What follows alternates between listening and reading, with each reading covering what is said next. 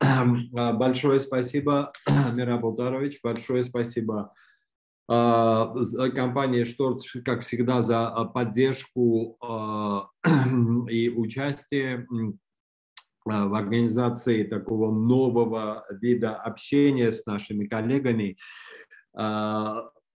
И я решил сделать такой цикл, цикл по лапароскопии, начиная с вопросов общих, базовых, и, конечно, потом постепенно мы обсудим все, то, все что имеется у нас ну, как достижение уже в продвинутых сферах гинекологической лапароскопии. Но я считаю, и те, которые бывали у нас, а, всегда они слушали также такие базовые лекции, потому что мы это очень хорошо видим. Мы университетская клиника, у нас много обучения, вы знаете, а, разные курсы мы проводим, и, к сожалению, мы констатируем, что на уровне уже базовых понятий, э, касающихся эргономии, использования аппаратуры, вхождения в полость, к сожалению, очень-очень-очень много а,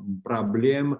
И, к сожалению, если проблемы появляются в начале лапароскопии, то потом уже а, думать о том, а, как делать уже продвинутую операцию, лимфоденектомию, глубокий эндометриоз, пролапс, уже, наверное, будет сложно. И как раз мы, это тоже у нас уже привычка, мы иногда а, даем нашу наше заключение такое, можно сказать, экспертное по разным записям, видео, и сразу видно, что проблемы они на элементарном уровне, неправильно сделана экспозиция, неправильно использованы инструменты, тракары очень часто плохо расположены, и поэтому очень сложно а, проводить продвинутые операции, если э, просто тракары не стоят правильно. Поэтому я решил вот начать с таких базовых, может быть, это будет интересно больше для молодых, но э, вы знаете, что мы постоянно стараемся обновлять все-таки знания,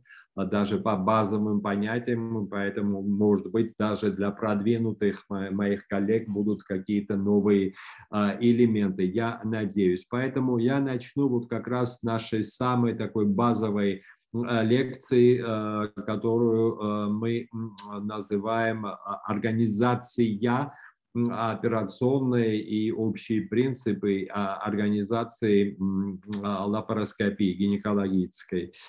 А, я а, вначале не могу а, не вспомнить профессора Брюа, которого многие знали, им посчастливилось встретиться. Профессор Брюа был основоположником лапароскопической гинекологии. Он основал первое отделение в 1976 году в Клермон-Ферране, и потом постепенно все развивалось. А, а, благодаря вот в этом здании, благодаря его другу Манесу. А, многие знают инструменты Манеса. Вот это есть Uber Манес.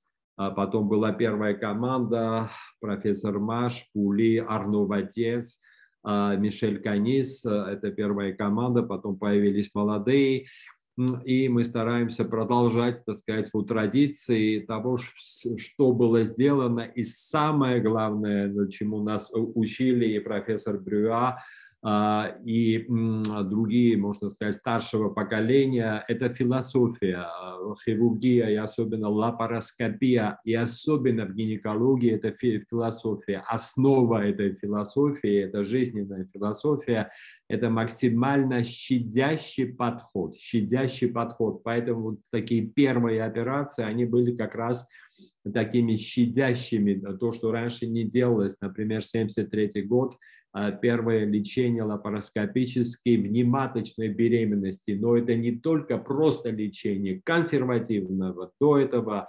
лапаротомически просто удаляли вообще придаток – а лапароскопический, э, во-первых, не было большого разреза, и, во-вторых, самое главное, идея Манеса была в том, чтобы сохранить трубу, и это себя оправдало. И видите, вот практически все первые такие мировые операции были сделаны впервые были сделаны в Клермон-Ферране. И, конечно, сразу появилась идея распространять эти новшества по всему миру. Профессор Брюа был, правда, мировой личностью, и он особенно любил своих российских коллег. И Сергей Штыров был первым, наш большой друг, который приехал в Клермон Э, и благодаря Сергею тоже у нас э, много фотографий э, с той поры, и вы можете узнать, узнаете многих ваших коллег. К сожалению, вот наш коллега, молодой коллега, который моложе меня, Крис Жардон, недавно нас покинул, к сожалению, из-за тяжелой болезни. А, и э, я могу много фотографий, на этом не остановлюсь. И благодаря моему большому другу Виталию Пешнарю мы начали вот такие организованные группы а, привозить э, а, в Клермон. Из-за пандемии была маленькая задержка, но я надеюсь, что все мы восстановим и будем еще лучше проводить вот эти нашей встречи в Клермоне, а до этого будем общаться а, вот так онлайн. И, конечно, невозможно было бы разбить а, ни отделение, ни самое главное тренинг-центр, потому что с самого начала появилось понимание того, что надо обучать, надо обучать. Не было тогда, сейчас удивительно, может быть, вам кажется, столько разных центров, тогда вообще об этом не было речи, и появилась идея сделать такой тренинг-центр благодаря а, помощи а, Карла Шторца, основателя компании, а потом мадам Шторц и Карла Кристиана, который продолжает дело, начатое своим великим предкам. И это как раз вот фотография у нас в Клермоне, когда приезжала мадам Шторс на открытие нашего нового центра. Это было а, в 2000 а, году. И я еще раз хочу поблагодарить Мираба, который душа вот всех этих наших общений э, с коллегами русскоязычными не только в России. Э, и э, без Мираба мы не представляем, как возможно было бы все это развивать. Большое тебе еще раз спасибо а, Мираб. Сейчас я начну вот свою такую основную лекцию по базовым принципам лапароскопии. И э, основа основ э, в чем? Э, э, на слайде на английском, но все вы будете понимать. Самое главное, э, важна безопасность. Сейчас э, все говорят о вакцинах во всех странах, и видите, что происходит. А, такие осложнения, которые встречаются один на миллион раз, уже вызывают очень много шума, один на миллион раз. А когда мы будем говорить о хирургии, всегда говорили, мы говорили о процентах, и даже когда десяток процентов каких-то осложнений, это иногда считалось допустимым. Поэтому безопасность она выходит на первом месте везде, во всех направлениях, во всех сферах, и поэтому э, очень важно как раз вот начинать правильно уже самой организации, чтобы свести до минимума, я не знаю, будет ли так, чтобы было одно осложнение на миллион, э, но э, должна быть вот такая установка, максимально улучшать условия, э, чтобы не было осложнений. И начало любой работы, любой работы – это самая важная часть. И как раз, как я говорил, это философский подход. Начало – это самая важная часть э, любой работы.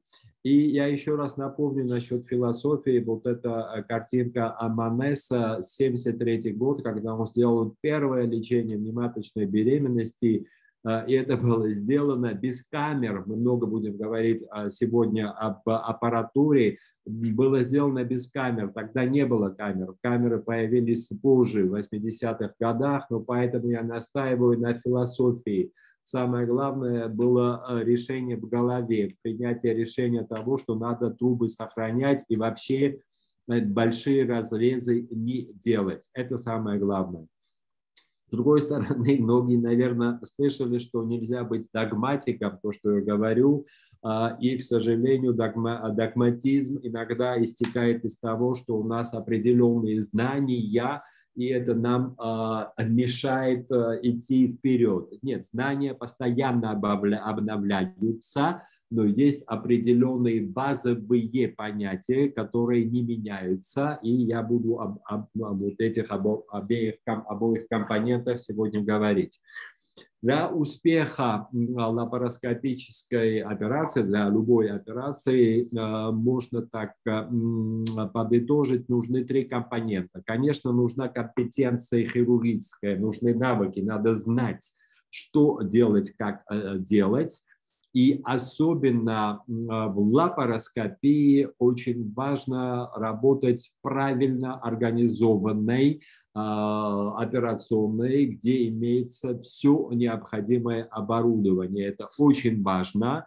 И а, из-за того, что мы работаем как раз с аппаратурой, э, занимаются этим медсестры, очень важно анестезиологическое обеспечение лапароскопии, оно свою специфику имеет.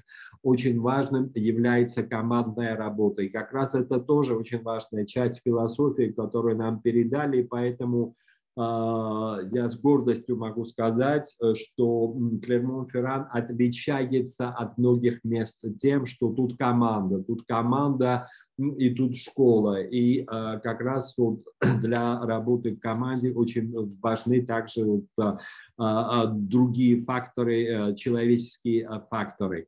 Что касается компетенции, это тоже надо четко определить, что такое компетенция, да, а чем надо владеть. Это навыки ручные, навыки в хирургии. Хирургия – это работа рук, но э, не только. Да, есть такие физические, технические, можно э, сказать, навыки, это индивидуальные навыки, э, но хирургия, особенно, я считаю, лапароскопия отличается тем, что это команда работа.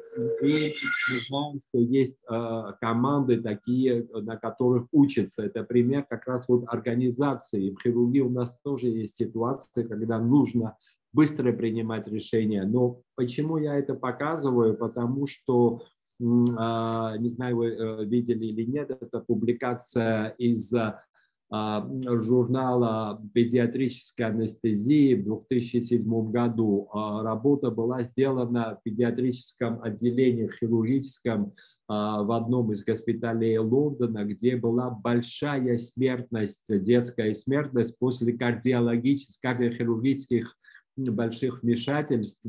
И очень важно иногда посмотреть на наши проблемы со стороны, другим взглядом и они пригласили как раз вот инженеров и членов э, стафа э, Формулы-1. И поэтому вот рисунок с правой стороны – это Формула-1, то, что мы видели, да, а слева операционный стол. И очень быстро эти инженера, они увидели то, что мы не видим каждый день, может быть, такие вещи, и они обратили внимание на то, что очень важно соединение, как соединяются разные аппараты с операционным столом,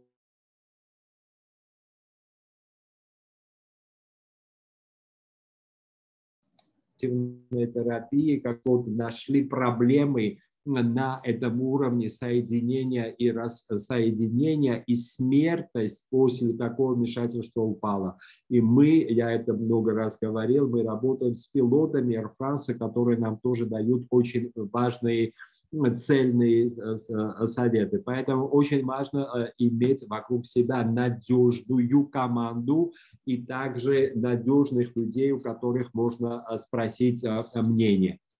Компетенция, да, это знание, это навыки, но вот подход, attitude, это очень важно, подход, мы об этом поговорим. Иногда очень хорошо работают руки, но неправильное а, решение принимается во время хирургии. Но в любом случае надо знать, надо знать, но не только теоретически, а нужно тренироваться. И в этом большое преимущество лапароскопии. У лапароскопии есть возможность тренироваться вне операционной, вне операционной, потому что сегодня такой принцип очень важный. А, нельзя а, делать первый раз, первый раз на пациенте. Второй фактор, который иногда мы тоже слышим, и некоторые это говорят, вот мне сегодня повезло в операционной. Нет, э, везению не должно быть места в операционной. Нужно свести до минимума фактор везения, и поэтому надо готовиться. Готовиться ко всему, я повторяю, в том числе на уровне аппаратуры. Есть в жизни факторы и ситуации, когда видно, что не везет. Да, вот тут не повезло но похожая ситуация повезло. Но в хирургии на это рассчитывать, я думаю, никак нельзя. И, к сожалению, вот этот дефицит э, знаний базовых а, в лапароскопии среди участников вот продвинутых курсов, работа американская это на, насчет этого. И я вам это говорил.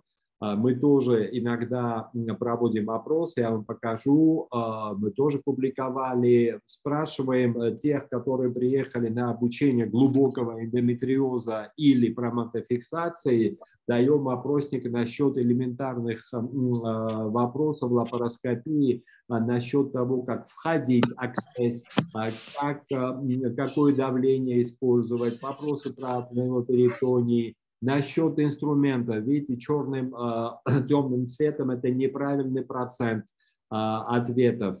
26 процентов неправильных ответов насчет вхождения в брюшную полость. Я об этом еще поговорю, но вхождение – это как взлет самолета. Представьте, что неправильно происходит взлет 26% случаев вы, наверное, уже в самолет не будете садиться. Да? Те же самые инструменты, это мы часто видим, постоянно видим. Я недавно это видел. А, кровотечение из сосуда, и для остановки кровотечения из сосуда взяли не тот инструмент, взяли инструмент зуб, э, зуб, э, зуб, зубчатый инструмент, и рана расширилась. Но это тоже человеческий фактор, когда стресс – иногда не думают и просто берут любой инструмент. И поэтому опять-таки надо готовиться, надо готовить голову и надо также э, готовить, э, конечно, руки. И опыт ничего не меняет. Я об этом говорю, когда говорю, э, подразумеваю, когда говорю о догматизме. Видите, когда сравнивали ответы люди, которые 5 лет опыта или больше 5 лет опыта, одинаково отвечали. То есть, к сожалению, если неправильно учиться с самого начала, потом сложно а, меняться. Э, насчет пневмоперитония, вы знаете, мы много работ проводим вместе с Ачиком Ацусаки. А, ну, то же самое давление, это не просто так, давление пневмоперитония, поэтому очень важно иметь хорошие аппараты, инсуфляторы. Давление меняет среду интраперитониальную, это э, то, что вы все знаете, цитокины, факторы роста, Э, факторы воспаления и так далее. От, от этого зависит послеоперационный период, те же самые боли. Мы это показали на генетическом уровне. Э, Сачико Мацуцаки делала, э, я проводил лапароскопию, она делала забор брюшины, изучала экспрессию разных генов, которые отвечают за воспаление, спайкообразование. Однозначно то, что меньше болей, это происходит на уровне экспрессии генов, которые меньше выражены при минимальном давлении. И, конечно, сейчас для нас стало законом, мы уже не работаем не то, что на 12 миллиметрах тутного столба, мы работаем от 8 до 10 миллиметров тутного столба, а у пациенток в возрасте вообще на 6 миллиметров тутного столба, и практически у пациентов нет болей, и намного лучше идет а, послеоперационный период. И видите, это тоже еще работа насчет того, насколько а, знают хирургию, э, электрохирургию и разные базовые принципы. Поэтому надо готовиться, надо готовиться. И как в авиации, это Арно отец один раз сказал, э, э, когда взлетает пилот, у него обязательство закончить операцию, по-другому не может быть, да, когда мы начинаем операцию, у нас есть обязательство закончить безопасно операцию. Есть ситуации, когда приходится останавливаться, но нет, надо ее закончить, и надо закончить ее хорошо, а правильно, безопасно. То есть надо вначале думать о том, как мы закончим операцию. И э, мы также встречаемся регулярно с ситуациями, когда об этом не подумали в начале, и поэтому были осложнения. И это большая классика. А, а, хирург принимает решение использовать монополяр для марселяции. Почему? Потому что нет марселятора. Монополяром марселировать просто не то, что нет смысла, потому что не получится. А, это элементарное непонимание электричества, как работает особенно монополяр. Монополяр от активного инструмента должен уходить куда-то а, безопасно. А тут смотрите, куда он уходит через кишку, он уходит к а, нейтральному электроду. И в конце концов огромный ожог, огромный ожог на уровне кишки, который потом вызвал перитонит. Через 24 часа был у пациента перитонит.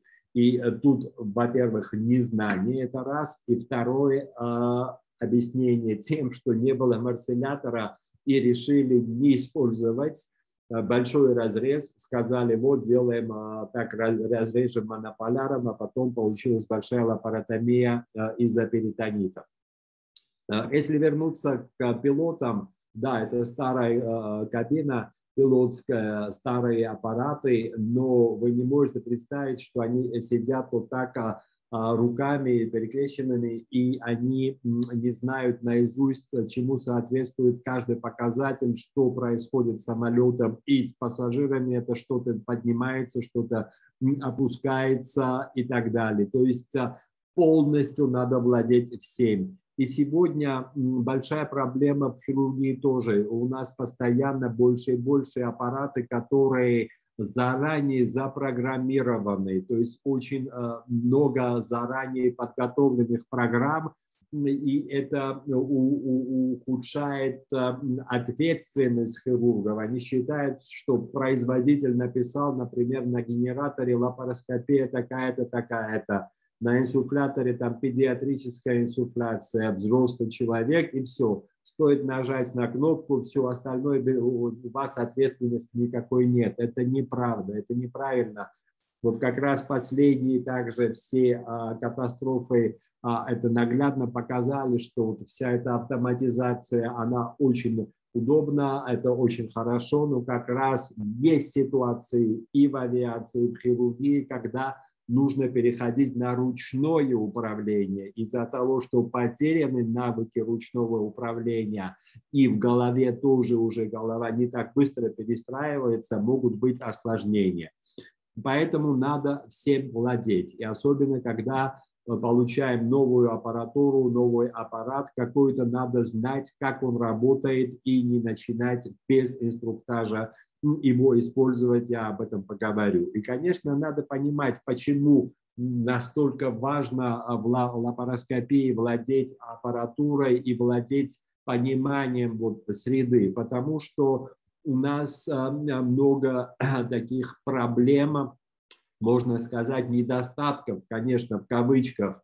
А, а, во-первых, у нас нет чувствительности, мы теряем есть чувствительность, но она через инструменты. Мы не так чувствуем тканей, структуры, как мы это чувствуем в лапаротомии. Да, в лапаротомии информация идет, идет от пальца, от пальцев, от кисти, то есть это вся разная абсолютно э, более такая богатая информация. Лапароскопии у нас чувствительности намного меньше, и поэтому очень важно иметь хорошие камеры.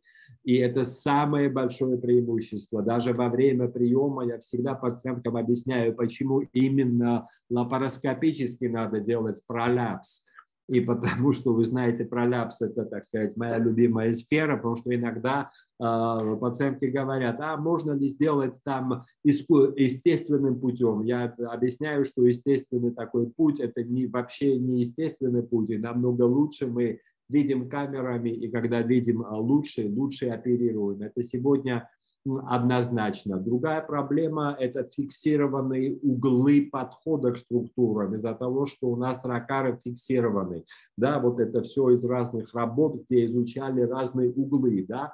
Для диссекции таких а, гибких мобильных структур у нас жесткий угол, который э, задан тракаром, и все, ничего больше мы сделать не можем. Поэтому надо как раз а, много раз подумать, пока мы поставим тракары, уже предугадать даже в конце операции, что нам придется делать. Большая классика – это лимфоденектомия, особенно большая, расширенная, параортальная. Если вначале тракары плохо стоят, а низко стоят, то потом высоко подниматься аорте, полой вене и к сосудам почечным, которые являются границей, будет намного сложнее. И в этом может быть определенное преимущество роботохирургии, где у нас появляется дополнительный еще угол, а, в отличие от стандартных прямых лапароскопических инструментов. Поэтому в любом случае у нас руки завязаны, и надо с другой стороны развязать руки, то есть максимально внутри брюшной полости использовать все возможности экспозиции, чтобы улучшить вот как раз угол подхода э, к структурам. Это просто пример того, что а, а, в лапароскопии у нас шесть э, степеней свободы, а, э, в, лапароскопии, в лапаротомии у нас намного больше, 36, с учетом всех сочленений, всех пальцев, фаланг и так далее. А, а в роботохирургии добавляется еще 2, то есть 7. А, что касается других таких каких-то принципов чисто механических, да, например, а, красным цветом то, что показано, это так называемый рычаг, то есть это точка приложения силы, вы помните, да, а, что было сказано много лет назад, дайте мне точку опоры. Точка опоры, она, опоры, она очень важна. И проблема в том, что лапароскопия у нас тракар а, превращается в точку опоры, а инструмент превращается в рычаг. Почему это важно знать? Потому что а, если с одной стороны мы а, прикладываем не очень большое усилие на рукоятку инструмента, например, на ножницы, но этот инструмент, он стоит таким образом, что короткая часть, короткое плечо находится в брюшной полости, а снаружи у нас длинное плечо, инструмента, то даже маленьким каким-то нам кажущимся нежным движением мы можем вызвать очень легко перфорацию структуры, просто прикасаясь чуть-чуть, как нам кажется, чуть-чуть визуально прикоснулись к структуре, а, но сделали перфорацию, вызвали кровотечение. Почему? Потому что сила, она увеличивается за счет этой механической формулы которая элементарно известная а, и которая объясняет то, что когда мы прикладываем силу тут к рукоятке, чтобы эта сила была такой же а, на конце инструмента, плечо А снаружи, плечо Б внутри должны быть одинаковой длины. И поэтому очень важно правильно всегда ставить тракар и думать о таких ситуациях. И я всегда, можно сказать, коллекционирую разные а, случаи из моей практики и других, а, чтобы наглядно это показать. Вообще сложно мы контролируем усилия, очень сложно контролировать. Видите, как соскочил инструмент, потому что мы не контролируем инструмент. А, это была попытка протолкнуть, и это часто я вижу, попытка протолкнуть кусочки матки марселированной через влагалище конце гистерэктомии. То есть сделали большую операцию, надо только зашивать влагалище, а тут еще придется зашивать пузырь. Почему? Потому что мы не контролируем наши усилия. Через тракар э, дополнительно идут помехи, которые нам мешают понять, сколько силы мы прикладываем на инструмент. Это уже видео, которое надо было ревьюировать для одного журнала, это крючок, который ушел куда? Э, мы находимся сзади матки. Это крючок электрохирургический, который застрял на уровне бифуркации аорты. То есть тут хирургу повезло. что он попал ни на подвздошную вену, ни на подвздошные артерии, ни на аорту и полую вену, застряла между ними. И что произошло? Он хотел завести этот крючок в конце операции сзади большой матки для вскрытия влагалища. Видите, очень сложно такие вещи делать, и не надо такие вещи делать, потому что инструмент мы не контролируем, он соскочил.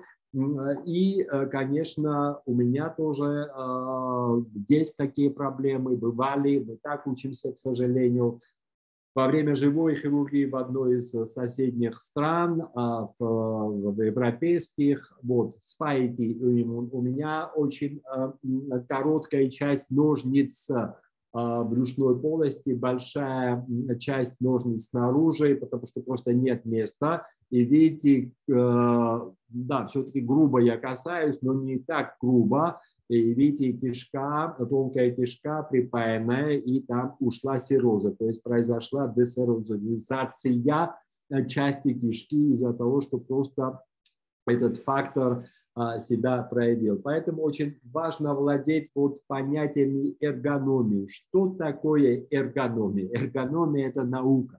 Сегодня мы много говорим о науке. Надо верить науке. Да? Когда люди выступают против вакцинации, может быть, другое другая сфера, но однозначно вакцинация построена на науке. Остальное это предрассудки и э, фейки. То же самое, эргономия это наука, поэтому это не просто мы так придумали, это э, наука. Эргономия означает, э, э, эргон – это работа по-гречески, номос – это закон, и это изучение, количественное и качественное изучение работы, работы, любой работы, любой рабочей обстановки, и э, потом уже э, выводятся определенные заключения и даются рекомендации закона. Почему это важно напоминать о законе? Когда мы касаемся закона, правила, то надо это и э, следовать правилам и законам и исполнять закон. Но всегда мы говорим и всегда мы знаем, что есть исключения из правил – исключения из правил нужно знать, но их можно понять и знать только тогда, когда знаем основной закон. Я приведу много таких примеров.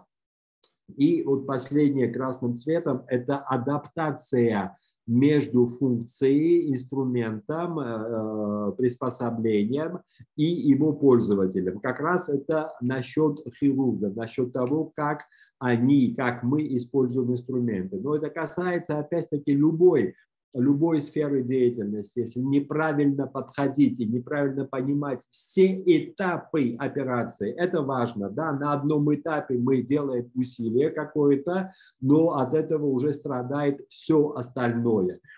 Конечно, могут сказать, что медицина – это не точная наука. Нет, она все-таки точная наука, к счастью, и просто надо знать то, что является точным. Да, некоторые говорят, я всегда так оперировал, всегда так делал. Пожалуйста, у человеческого мозга а, замечательная пластичность. Можно работать так, чтобы экран стоял сзади, можно наловчиться. Да? Но зачем? Зачем? Есть работы, есть а, а правила. Вот это одна из публикаций насчет оптимальных, а, оптимальных эргономических правил в лапароскопической э, хирургии, а, ревью работ и гидлайны, то есть ревью, основанное на рандомизированных контрольных, контрольных работах, на клинических работах, на экспериментальных работах. И очень часто заключения простые, тоже можете сказать, зачем, я это все знаю. Нет, нет, это есть вопрос принципа, надо знать элементарные, вопросы также, и иногда надо их напоминать. Например, сколько нужно ставить строкаров, да? А, каждый может сказать, столько, сколько нужно. Нет, э, вопрос, он опять-таки математический вопрос, э, элементарный вопрос, э, то есть ответ элементарный. Мы работаем с ассистентом, один, который держит манипулятор, мы об этом поговорим, и второй, который держит камеру. У нас четыре руки, поэтому в большинстве случаев четыре тракара. То есть, когда люди ставят три тракара и говорят, вот, я тремя тракарами или двумя тракарами сделал гистерэктомию, зачем? А что в это время делали эти две руки? Да? Зачем не занимать эти две руки? Я а, вначале привел пример того, что у нас и так руки завязаны. Зачем еще оставлять без функции одну а, руку или две? Никакого сегодня оправдания этому нет. Эстетика никак этого не оправдывает. Сегодняшняя эстетика, если даже очень низко делать разрез, все равно будет видно, да? А, этому тоже надо учиться, правильно зашивать. К сожалению, это маленькая такая деталь, тут очень большое значение на это обращают и пациенты, и врачи. К сожалению, не во всех странах обращают внимание на то, как зашиваются раны после лапароскопических операций. Значит, это в большинстве случаев у нас такая установка тракаров. Что тут очень важным является? Ставить тракары высоко. Мы говорим сейчас о базовых понятиях, но в основном у нас э, акцент будет на большие операции. Для больших продвинутых операций в большинстве случаев мы работаем позади матки, позади шейки, ректовагинальное пространство, эндометриоз, кишка эндометриоз, пролапс позадиматочное пространство. То есть если низко ставить ракары, мы никогда не сможем подойти к этим пространствам правильно. Может быть, подойдем, но неправильно подойдем, и намного больше риск осложнений и неправильных действий. Вот такая установка тракаров соответствует такому расположению инструментов. Конечно, мы еще раз поговорим. В левой руке всегда биполяр, в правой руке всегда ножницы, ассистент держит камеру, одной рукой левой, правой рукой держит а, а, зажим манеса в большинстве случаев. Что касается оператора, можно переставлять э, в левой руке э, ножницы, в правой биполяр, но, но, но. Я могу долго об этом говорить, даже есть работы. Я так учился у Арнова Теза, которого все знают практически, и э, я думаю, что он не ошибается, и когда мы видим, как он работает, а, однозначно ножницы в правой руке а, в серединном тракаре, они намного лучше работают, намного оптимальнее работают, чем ножницы в левом тракаре. Вот такое расположение тракара в большинстве случаев. Я видел разные, поэтому я привожу. Видите, тут рука ассистента, я сам ассистировал одному коллеге в одной из стран. Видите, это моя правая рука. А зачем ее не использовать, эту правую руку? Да? Это не очень удобное такое расположение для хирурга. Он устает. Есть работы, ставили датчики на мышцы, разные мышцы а, туловища, верхних конечностей. И оказалось, что в лапароскопии, во время лапароскопии изучали, очень сильно устают делтоидные мышцы, да, делтоидные мышцы устают, и как раз вот такая позиция, она неудобная для делтоидных мышц. Поэтому и тракары высоко должны стоять. Если тракары стоят низко, то хирург нагибается, а, и у него, и, во-первых, перегиб а, позвоночника. То есть все элементы, они изучены, изучены. То есть, опять-таки, это наука. Видите, я снимал в разных операционных а, ассистент держит камеру, а девушка правой рукой, а видите, где левая рука. Это абсолютно для меня непонятно. И а, напротив хирурга два ассистента. Один камеру держит, а второй держит только инструмент. две руки, они абсолютно не заняты. Это абсолютно нерентабельно и непонятно. Эта пациентка пришла ко мне, у нас университетский центр, нам присылают из других мест, по более тяжелым проблемам. А эта пациентка пришла э, по поводу миомектомии. Всегда есть письмо сопроводительное из другого города. В письме было написано, вот молодая девушка такая-такая-то, у нее желание беременности, и у нее, да. у нее очень плохо расположенная миома. Я сам э, хотел убрать эту миому, сделать миомектомию, но не получилось и решил доверить вам такому центру в Иране. Я осматриваю пациентку и э, смотрю разрезы, прошу разрешения сделать фотографию. Вот такая была попытка убрать узел. Какой узел? Это очень важно. Узел был ретроцервикальный, но он был небольшим, 3 сантиметра ну, чем красиво? В машине. Ну, чем? Просто попробовать всю жизнь ходить, вообще ничего не... Так, не слышно было? А, значит, было слышно. Хорошо. Ну, если остальное время не было, ну, хорошо. Самое главное, слышите сейчас, да? А, значит, э, узел был маленьким, 3 сантиметра позади э, э, матки а, на перешейке между, то есть он был элементарным. А, у нас эту операцию мы доверили резиденту. И видите расположение тракаров. То есть таким расположением тракаров практически невозможно работать сзади матки. Эндометриоз это сейчас очень популярен. Э, есть разные ассоциации женщин, которые считают себя, а, так сказать, у них проблемы после разных операций. А, и э, эта фотография выиграла международный приз. Был даже, оказывается, а, приз вот э, таких фотографий пациенток, у которых были операции по поводу эндометриоза. И я читал эту статью, читал историю пациентки, у пациентки глубокий эндометриоз, ее оперировали, видите, сколько раз там она написала э, каждый год, 2014 и так далее, раз, два, три, четыре, пять, пять раз ее оперировали, и у нее опять глубокий эндометриоз, и, конечно, она выступает против хирургов, а, и для меня эта фотография, она очень интересная, да, глубокий эндометриоз, ретро-цервикальный, можно сказать. Э, и смотрите, можно ли таким расположением тракаров, особенно вот этим расположением тракаров, убрать ретроцервикальный эндометриоз? Конечно, нельзя, невозможно. А, поэтому вот эргономия, я думаю, это основа основ. Для каждой патологии надо подумать, как поставить ракары. Конечно, если нет позади маточной патологии, мы можем низко ставить ракары, но в основном мы занимаемся вот такой хирургией, поэтому очень важно правильно и высоко а, ставить ракары. Я думаю, это элементарно и а, очень важно.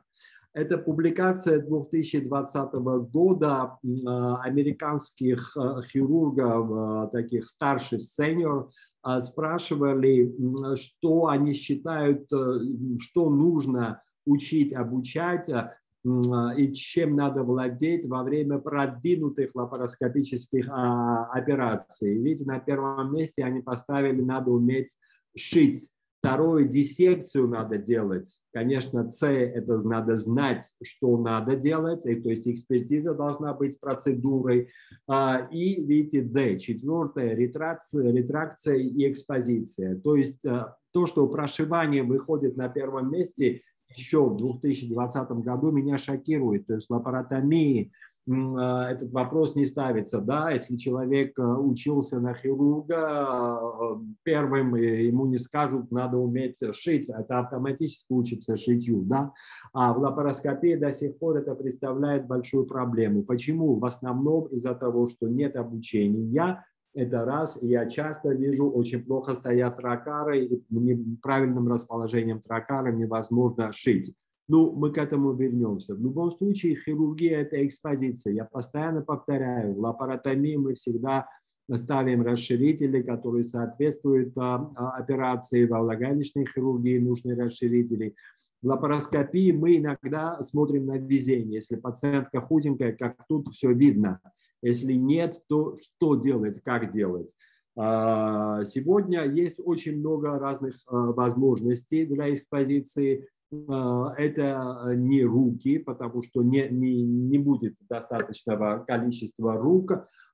Есть выходы из ситуации умные, есть выходы из ситуации не совсем умные. В лапароскопии для того, чтобы была экспозиция, первое, тракар для экспозиции использовать не надо, потому что тракар для экспозиции – это потерянный тракар для хирургии. То есть а, в лапаротомии иногда мы просим а, ассистента, и можно позвать молодых студентов, которые всю операцию несколько часов будут держать зеркала, и все. Но они не оперируют. А у нас всегда ассистент что-то должен также делать. Да? У него активные инструменты. И это все через тракар. Если тракар будет э, вместо зеркала, то это потерянный тракар. Поэтому надо использовать все другие возможности. И у нас замечательная возможность – это использование манипулятора. Опять-таки вы скажете, это элементарный вопрос, о чем он говорит. Сколько раз я видел демонстрацию операции, сколько раз я видел абстракты, доклады на разных конгрессах, где люди выступают, вот, я могу делать гистерэктомию без э, манипулятора, это замечательно и так далее, разные аргументы надуманные. Зачем? А, а, манипулятор был разработан ватезом для того, чтобы обезопасить пузырь и мочеточники. Все боятся пузыря и мочеточника. Если не использовать манипулятор, если неправильно его использовать, да, риск возрастает. Зачем? Это элементарная вещь. Манипулятор надо всегда, всегда, всегда использовать для манипуляции матки. Иногда не получается. Тогда как раз можно подумать о подвешивании. Даже матку можно подвесить. Это автоматически должно приходить понимание. Да, что-то происходит снизу, не могу использовать манипулятор, не проблема, переходим на подвешивание.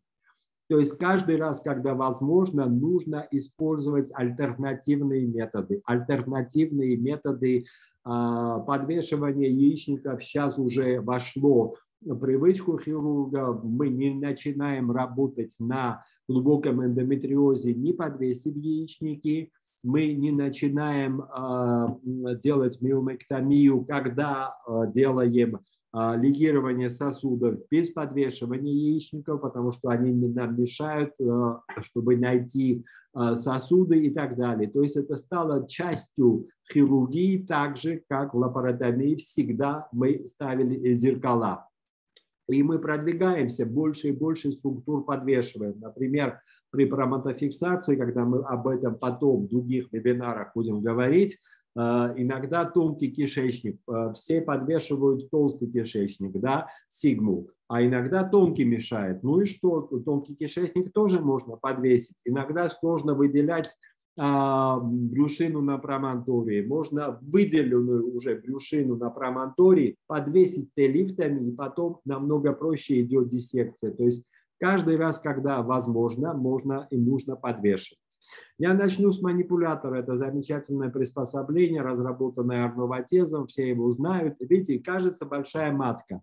Кажется большая матка, и видите, сам оператор-хирург должен показать ассистенту позицию, расположение этого манипулятора, и это очень важная часть. Иногда а, оператор сконцентрирован на каких-то этапах, сложно идет операция, нужно сразу подумать о том, а может быть снизу надо исправить ситуацию, и каждый раз и диссекция ректовагинального пространства при пролапсе – это большая классика.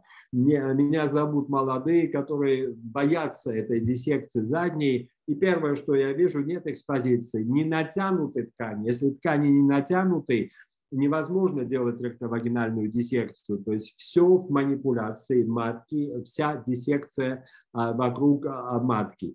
Вот подвешивание, это наше старое видео, когда мы подвешивали ректосигмоидный отдел кишечника прямыми иглами, да, а, очень редко, чтобы я такое видел, чтобы не было вот этих а, а, жировых подвесок. Практически они всегда имеются. Надо пройти через жировые подвески, поэтому надо владеть иглодержателями и так далее. Это видео, наверное, из нашей старой клиники, поликлиники, то есть, наверное, больше 15 лет.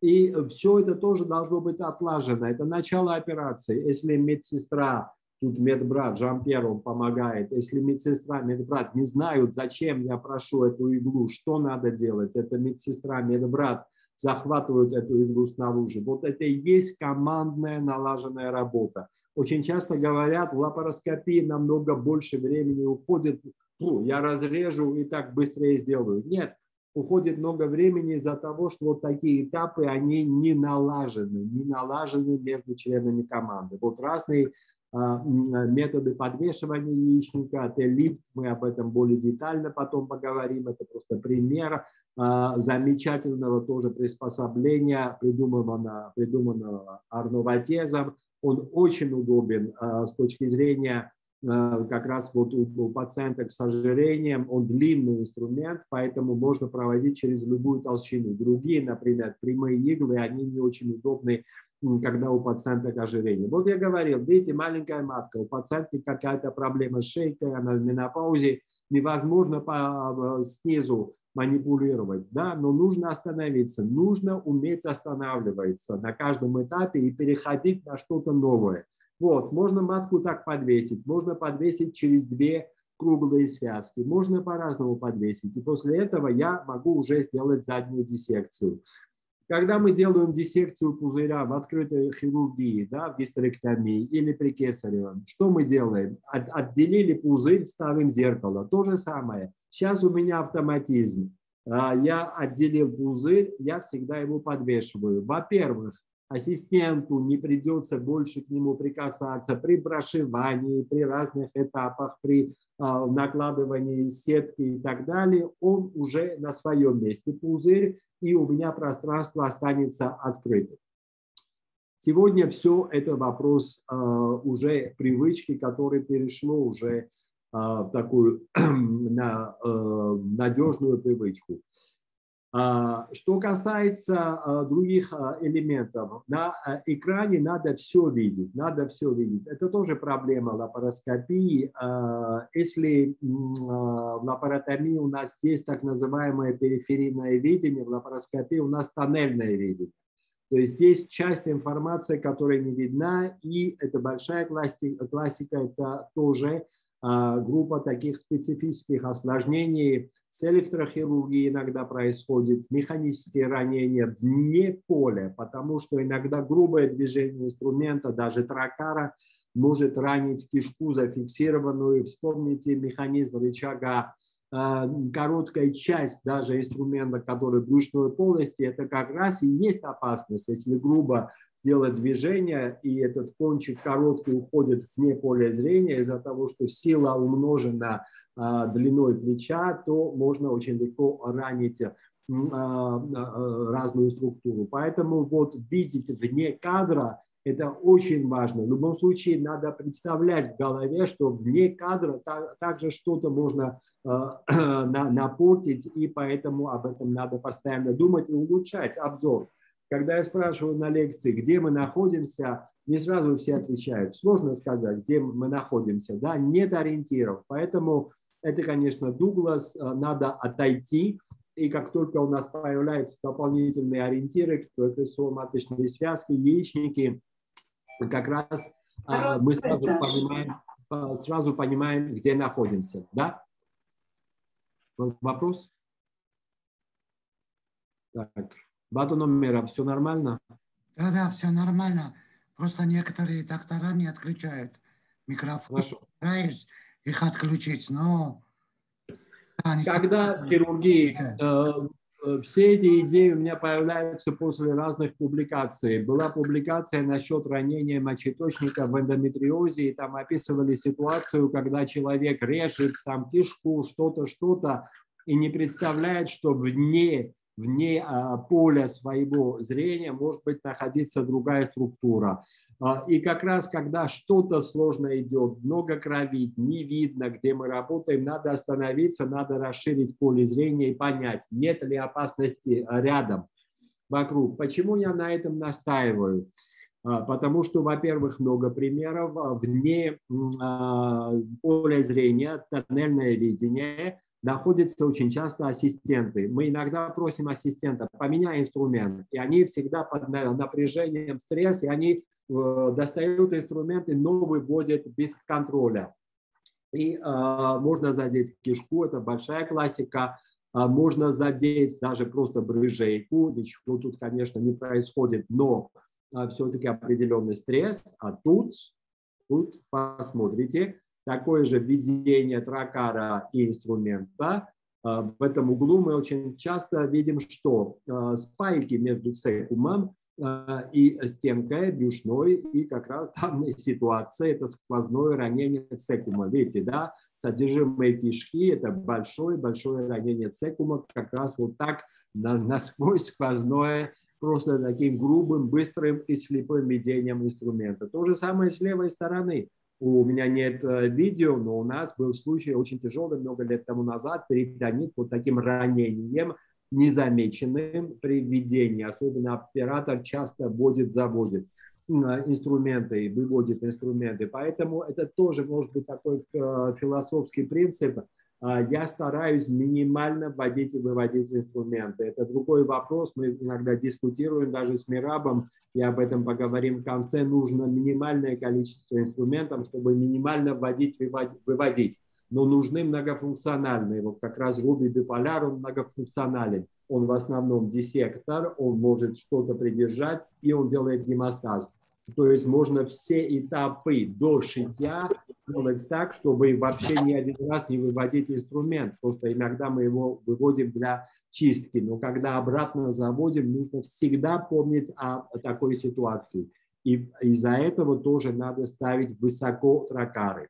Следующая проблема – это читать изображение к сожалению, у, человеческий ум тут насчет мужчин а, написано, но у всех такой ум, они всегда а, сконцентрируются на чем-то, что притягивает внимание, да, но большая часть информации, может быть, более важная и опасная часть информации, она а, сразу не видна. Видите, да, тут Кинг-Конга. А, поэтому я всегда говорю и молодым, и на лекции, надо сразу читать полностью все изображение. Да? Что-то сразу притягивает, но может быть важное, очень важное, мочеточник, он где-то запрятан, не очень далеко, но он не виден, и до него остается миллиметр буквально, когда мы что-то режем. Поэтому надо читать все изображение.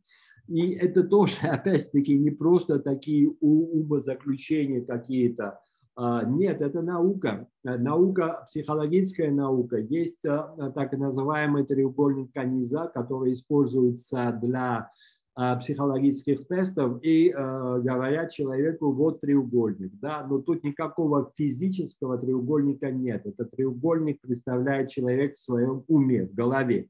То же самое иногда нам что-то кажется, что мы видим, на самом деле физически этого нет.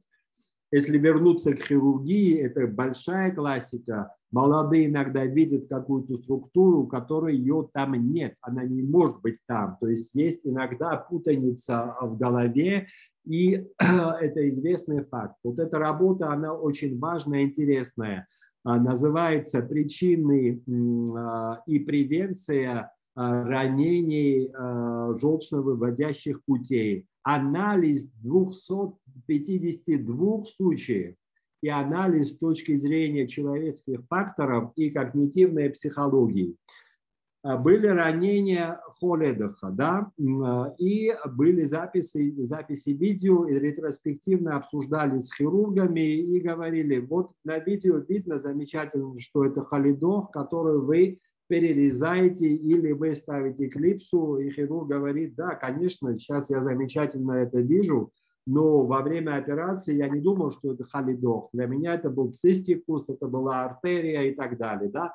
Поэтому ретроспективно, когда мы должны, это тоже очень важно, почему спортсмены, почему э, спортсмены всегда делают так называемый дебрифинг, почему э, всегда пилоты делают разборки полетов. Пилоты нам говорят, а, разбор полетов – это после любого полета, это не только после того, когда что-то произошло, после любого. Да? В хирургии мы этого не делаем, и это очень плохо. Тем более это было бы интересно в лапароскопии, когда запись у нас операции. Да? Мы этого не делаем. И как раз вот во время операции что-то мы не видим, а потом нам кажется элементарно. Когда мы делаем монтаж фильмов своих собственных, иногда думаем, как я это не увидел, как это я пропустил. Да? Это все такие человеческие факторы, которые объясняют осложнение. И медико-легальные. Вот эта пациентка к нам пришла после аборта. А, а, то есть а, она пришла по поводу аборта. А, ей ставили клипсы на трубы несколько месяцев тому назад. То есть она себя считала свободной, ей не нужна контрацепция, и вдруг беременность нежелательная – и, конечно, она а, пожаловалась, и большая была проблема и так далее. А, мы сделали лапароскопию, потому что на рентгенограмме были видны эклипсы брюшной полости, и, конечно, не было понятно с обоих сторон. Они кажутся на своем месте, а в лапароскопии они с обоих сторон были на складке брюшины широкой связки, а труба с обоих сторон была проводима и она была очень красивая, нормальная и так далее. Как это можно объяснить? Опять-таки вот психологическими факторами и а, такими когнитивными, да, а, мы это очень хорошо знаем. А, хирурги говорят, вот мне надо сейчас сделать а, там лимфанектомию, вот это лигирование труб, это элементарная операция, за 10 минут я ее сделаю или доверю кому-нибудь молодому и так далее. И а, вот такое пренебрежительное отношение к маленьким простым операциям могут вот так плохо закончиться. Это большая классика. И второе, при таких операциях, я это знаю, я это видел, не ставят манипулятор. Думаю, фу, зачем ставить тут манипулятор? Зачем ставить э, там 4 тракара и так далее? А если нет экспозиции, у некоторых пациентов, да, разные складки, мы это знаем. Это большая классика, когда мы делаем гистерэктомию, просим первый этап, просим ассистента захватить круглую связку. Да, мы этим начинаем. И практически каждую неделю такое бывает, ассистент захватывает не круглую связку, а захватывает складку брюшины а, широкой связки. Да? То есть может быть такая путаница визуальная. Поэтому надо знать принцип, и до того, как что-то резать или скоагулировать, должна быть полная уверенность, что это та структура и есть. Поэтому у нас такое правило, если мы видим замечательно, если знаем, что такая структура, она и есть, мы ее режем, коагулируем, и как только маленькое сомнение, надо делать диссекцию. И следующий вопрос, это очень важно, будет диссекция. Но до этого вернемся к зрению. А в чем проблема? У нас зеркальное зрение в лапароскопии, это первое. И второе, есть такое понятие ось обзора, глаз, орган, и рабочая ось – это ось, которая проходит между руками, эти э, рабочими руками. Да? В лапаротомии эти две оси, они параллельны. Да? А что может произойти э, в лапароскопии? В лапароскопии из-за фиксированности тракаров рабочая ось, которая проходит между двумя руками, она остается, не меняется, но в зависимости от расположения экрана, а, в зависимости от того, в какую сторону смотрит человек для контроля за операцией, а, ось рабочая и ось обзора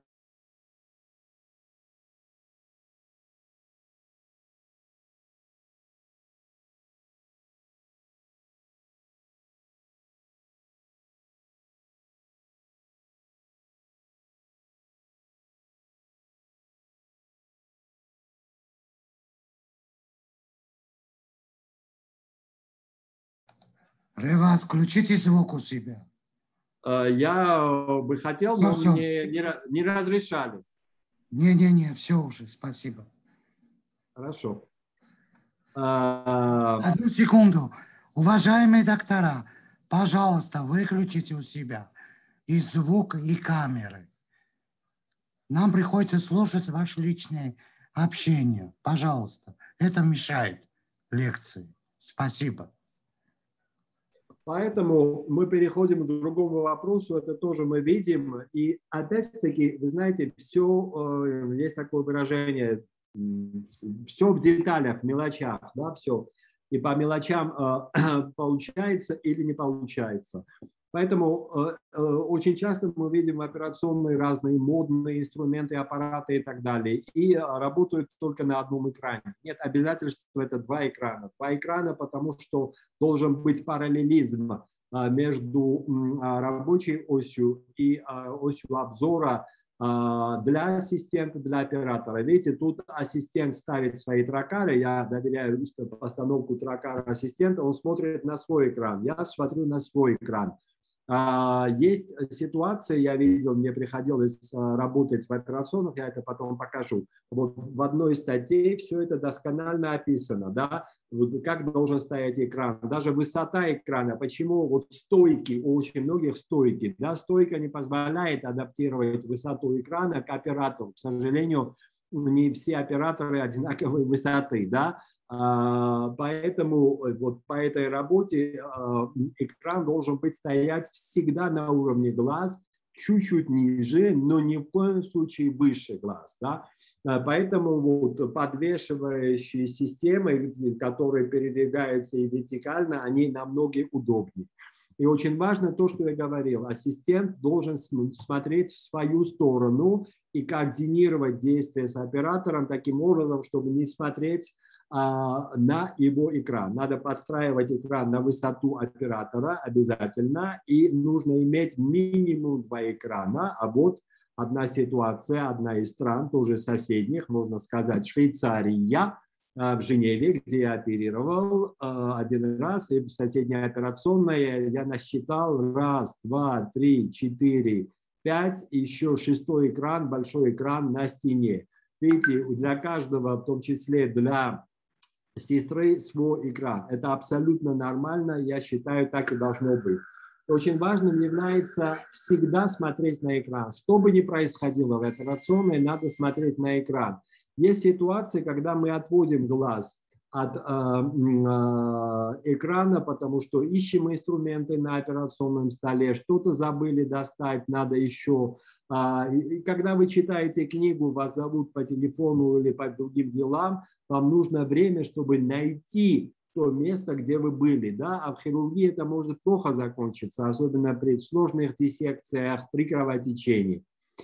Как я говорил, очень важным является знание прошивания, диссекции, знание процедуры экспозиции, но на втором месте, видите, все-таки а, была диссекция. Это статья, это а, статья 2015 года в Соединенных Штатах смотрели, как готовы резиденты после резидентуры. Они идут на fellowship. Fellowship – это другое а, специализация, резидентура общая, и они идут, например, а, в репродуктивную хирургию, в онкологию. Остановимся вот на онкологию. Да, красным цветом это онкология.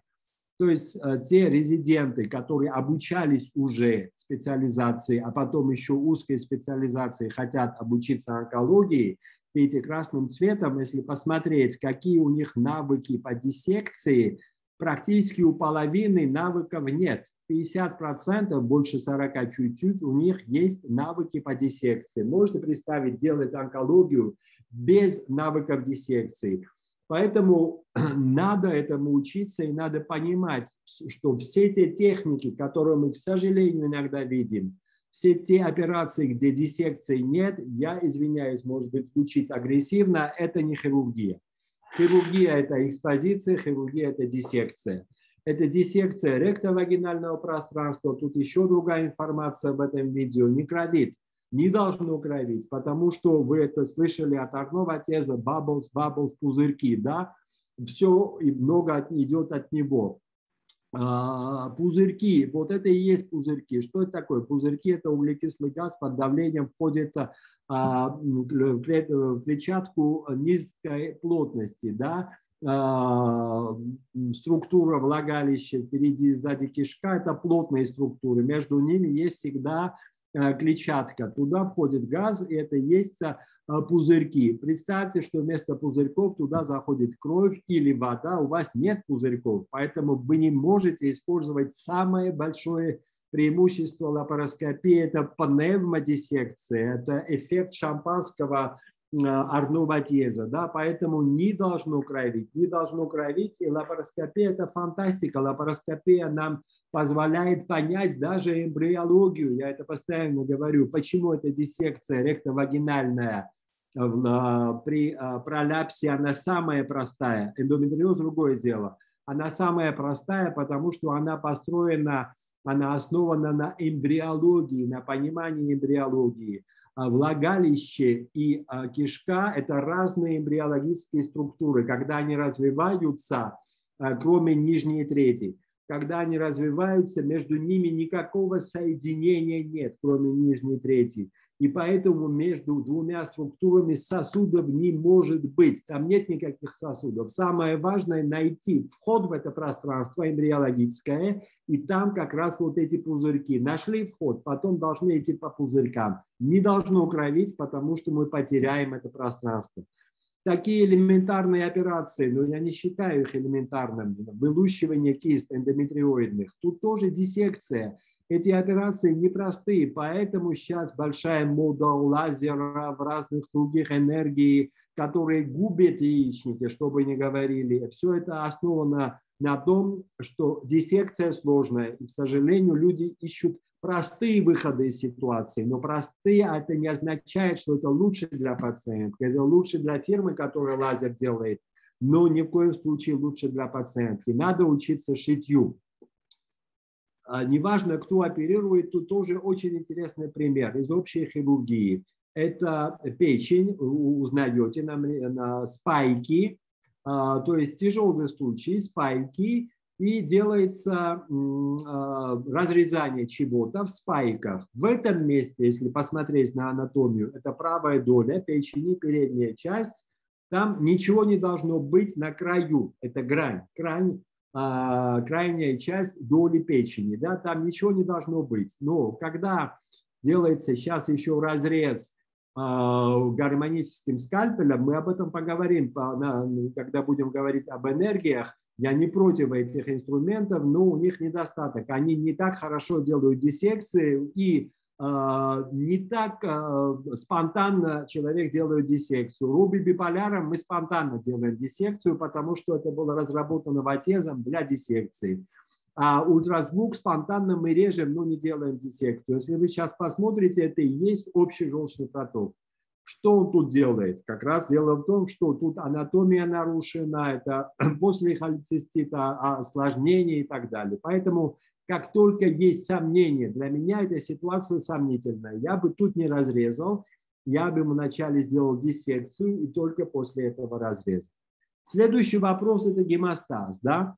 Это у нас в тренинг-центре стойка, нас иногда зовут к стойке, вот такая ситуация. Что тут делать? Я иногда, шутя им говорю, мы отключим свет для вас, все, сегодняшний день закончен, game over, или сделаем лапаротомию. Ну, это очень сложно, когда на этом этапе, да, конечно. Самое главное, гемостаз должен быть превентивным, превентивным. И это особенно важно в лапароскопии. Почему? Потому что в лапароскопии время, которое уходит на гемостаза, особенно когда кровит уже, он намного длиннее, и сам процесс намного сложнее, чем а, а, в открытой хирургии. В открытой хирургии, когда что-то кровит, все автоматически, интуитивно а, прикладывают свой палец и уже что-то выигрывают, потому что больше не кровит, останавливается сразу. Да? А, к сожалению, в лапароскопии люди теряются, потому что в основном кровотечение начинается, когда режут механическими ножницами или электричеством, да, и тут нет пальца, чтобы прижать, нет рядом инструмента, которым можно было бы зажать. Это если инструмент зубчиками, им нельзя зажимать. Видите, время теряется. Если время теряется, к сожалению, закон подлости, эта струя бьет прямо а, в оптику, и уже потом катастрофа. Ничего не видим, время потеряно, иногда доходит до лапаротомии. Поэтому особенно важно делать превентивный гемостаз. Когда мы это постоянно повторяли, для себя повторяли в голове, мы дошли до того, что в большинстве операций, за исключением эндометриоза, можно сделать операцию так, чтобы не было капельки крови. Это дошло до того, что я сам лично уже давно не подключаю, а всегда систему ирригации. Система, она двойная. Как она называется? Ирригация, аспирация. Она всегда двойная. Нет отдельной ирригации, нет отдельной аспирации. Всегда аспирация подключена. Почему? Потому что аспирация – это как наши салфетки во, во время хирургии открытой. Кровит, мы а, прикладываем салфетку, лапароскопии то же самое. Кровит откачиваем, но не моем. И это повторяю постоянно. Мытье – это ошибка, ошибка, ошибка, потерянное время. Из-за того, что мы теряем слой, мы теряем время, мы теряем время, чтобы потом эту жидкость, которая ушла во всю брюшную полость, потом ее откуда-то забирать. Поэтому очень важно быть превентивным. Да, технология, она очень важна. Биполяр, клипсы иногда, может быть, в онкологии, но самое главное – это ваше решение – Ваше решение, то есть не допускать кровотечения, надо правила соблюдать. И как только кровит, вот надо захватить. Захватить. Этот инструмент Манеса, он был разработан для трубной хирургии, для вскрытия труб, да, поэтому он острый.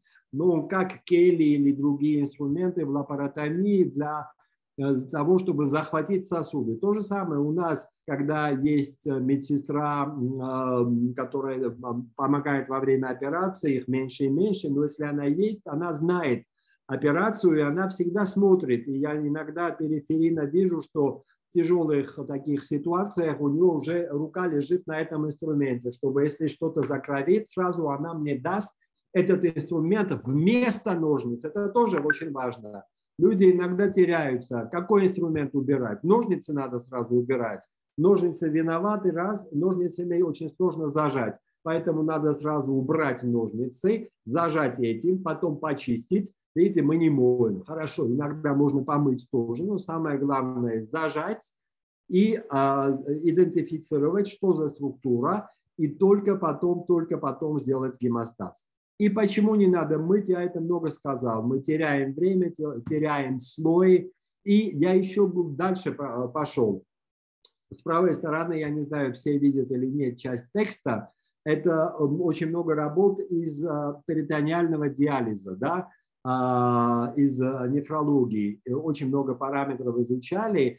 И оказалось, что когда промывается брюшная перитониальная полостью одним э, литром жидкости, то эта жидкость забирает 60-80% общего числа макрофагов.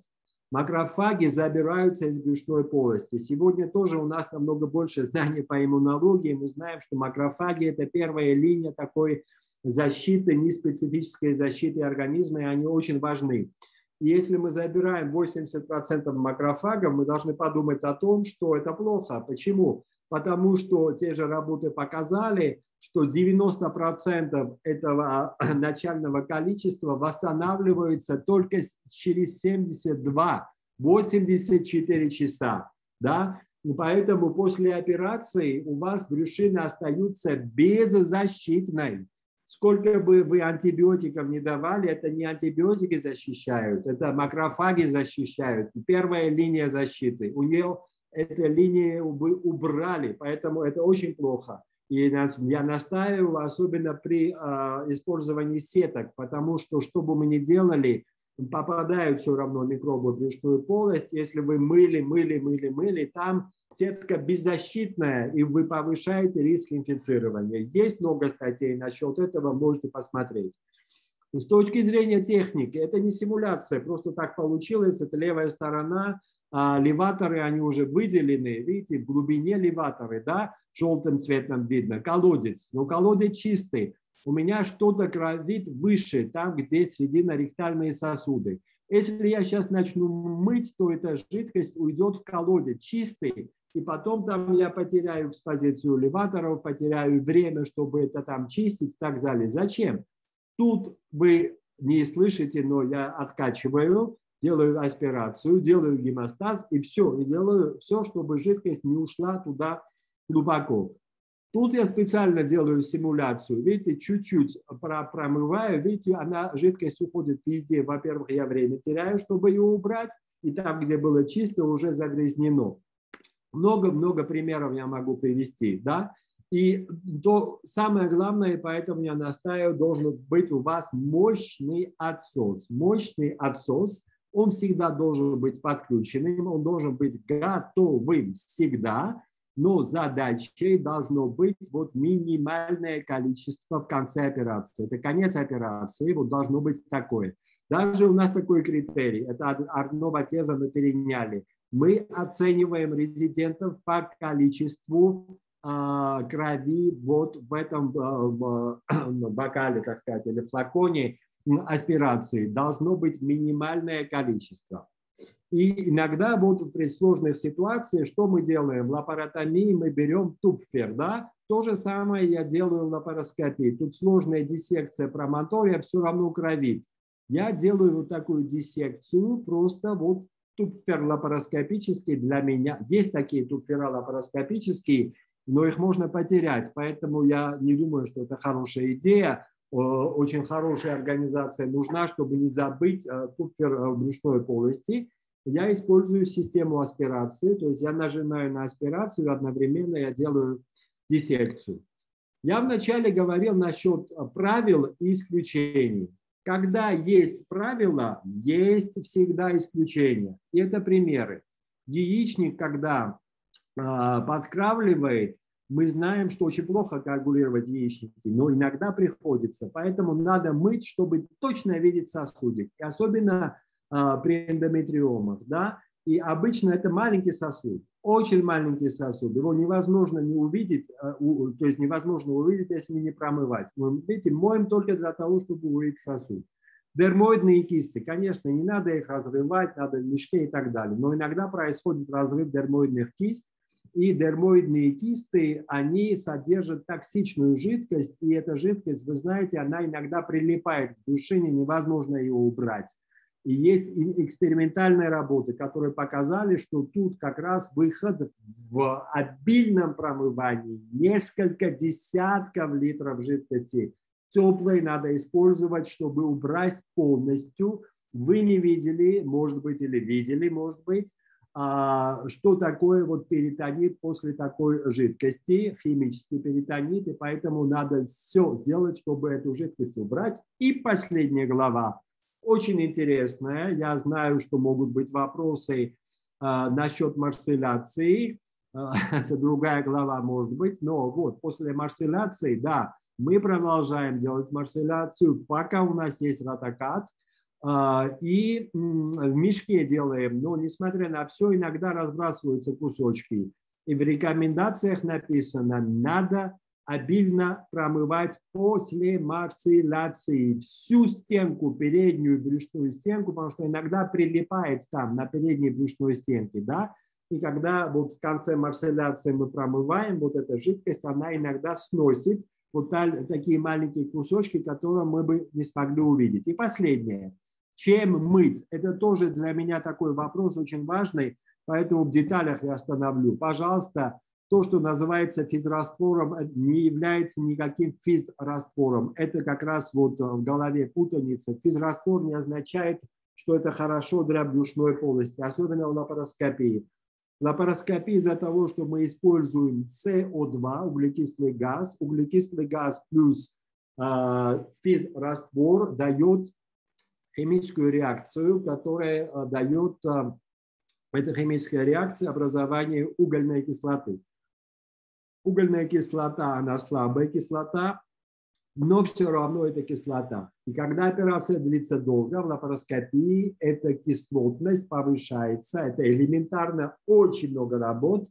А, появляется ацидоз брюшной полости и работают то с правой стороны, то, что видно, электронная микроскопия брюшины. Брюшина страдает. А, начинается оксидативный стресс, начинается некроз и так далее. И это вызывает боли, это вызывает спайки. Есть экспериментальные работы, мы тоже над этим работали, где говорится, что одна из причин диссеминации рака в лапароскопии – это как раз использование СО2 и этот ацидоз – и есть работы, где сравнивали экспериментальное СО2 с гелиумом, да, и при гелиуме меньше диссеминация, просто гелий нельзя использовать в лапароскопии. Это все к тому, что вот надо знать свою среду, где вы работаете. И заключение простое и практичное. Нельзя использовать физраствор. Просто это закон. Надо использовать рингер-лактат. Рингер-лактат. Почему рингер-лактат? Потому что лактат – это буфер а, это а, щелочный раствор, и он уменьшает ацидоз. Вот это и есть объяснение. Рингер лактата это написано. Есть работы. Рингер лактат. Только рингер лактат. Это, конечно, такая шуточная фотография. В одной из постсоветских стран я это нашел, но это очень хорошо. Надо нагревать. Когда мы много моем, что происходит? Когда мы много моем, жидкость забирает тепло. И поэтому сегодня известно очень плохо, когда пациентки переохлаждаются. Да, есть матрасы снаружи, мы их нагреваем, но основной источник забора жидкости, э, тепла – это жидкость. Поэтому, если мы моем, а, надо нагревать и мыть только нагретой жидкостью. Сейчас переходим к последней главе – организация операционной и коротко об инструментах. Это вообще а, в английском называется театр, да, а операционный театр по-русски не так звучит, но по-английски всегда так. Почему? Потому что вначале так и было. В амфитеатре операции делались, да, были просто э, люди, которые приходили, даже не врачи, которые наблюдали, это было даже очень принято в высших сферах общества, приходить и смотреть на операции известных э, в то время личностей, э, которые были хирургами также. А, и а, это так и осталось, амфитеатр. А, наверное, из-за ковида это, конечно, все и так исчезло, но и так исчезнет. Вообще присутствие людей в операционной. И постепенно мы перешли на то, что Люберманес назвал эндоблоком. То есть все происходит внутри, но с другой стороны а, лапароскопия позволяет увидеть большему количеству людей, вот как сегодня, например, да, всем практически увидеть то, что очень сложно увидеть при лапаротомии. Поэтому это и является одним из самых важных а, преимуществ лапароскопии. Это разные операционные в разных странах мира, это просто к тому, что по-разному операционные организованы. Но самое главное, вот понимание того, что очень важно Э, иметь э, экраны и самое главное видение. Это просто аллегория насчет того, что у нас никогда не будет большой операционной. Везде, во всех странах, к сожалению, операционные маленькие. Но даже так на маленькой площади можно организоваться рационально и, и а, организоваться как а, тут вы не можете представить, что они не расположены как-то умно таким образом, что каждый каждый сразу вошел бы в свою роль, в свою функцию. Да? А, я говорил насчет стоек. Да, стойки, может быть, они интересны, но намного важнее и намного интереснее системы вот такие подвешивающие системы, где экраны можно подогнать под высоту каждого оператора. Я не буду говорить, потому что невозможно обо всем говорить, хотя я очень люблю эту тематику. А, то, что тут а, синий цвет, это не случайно. Синий, под синим цветом глаза меньше устают, поэтому идеальная операционная должна быть освещена или синим, или зеленым. Есть разные еще элементы, но об этом я сегодня не буду, это возможность виртуально управлять аппаратами, системой СБ и так далее.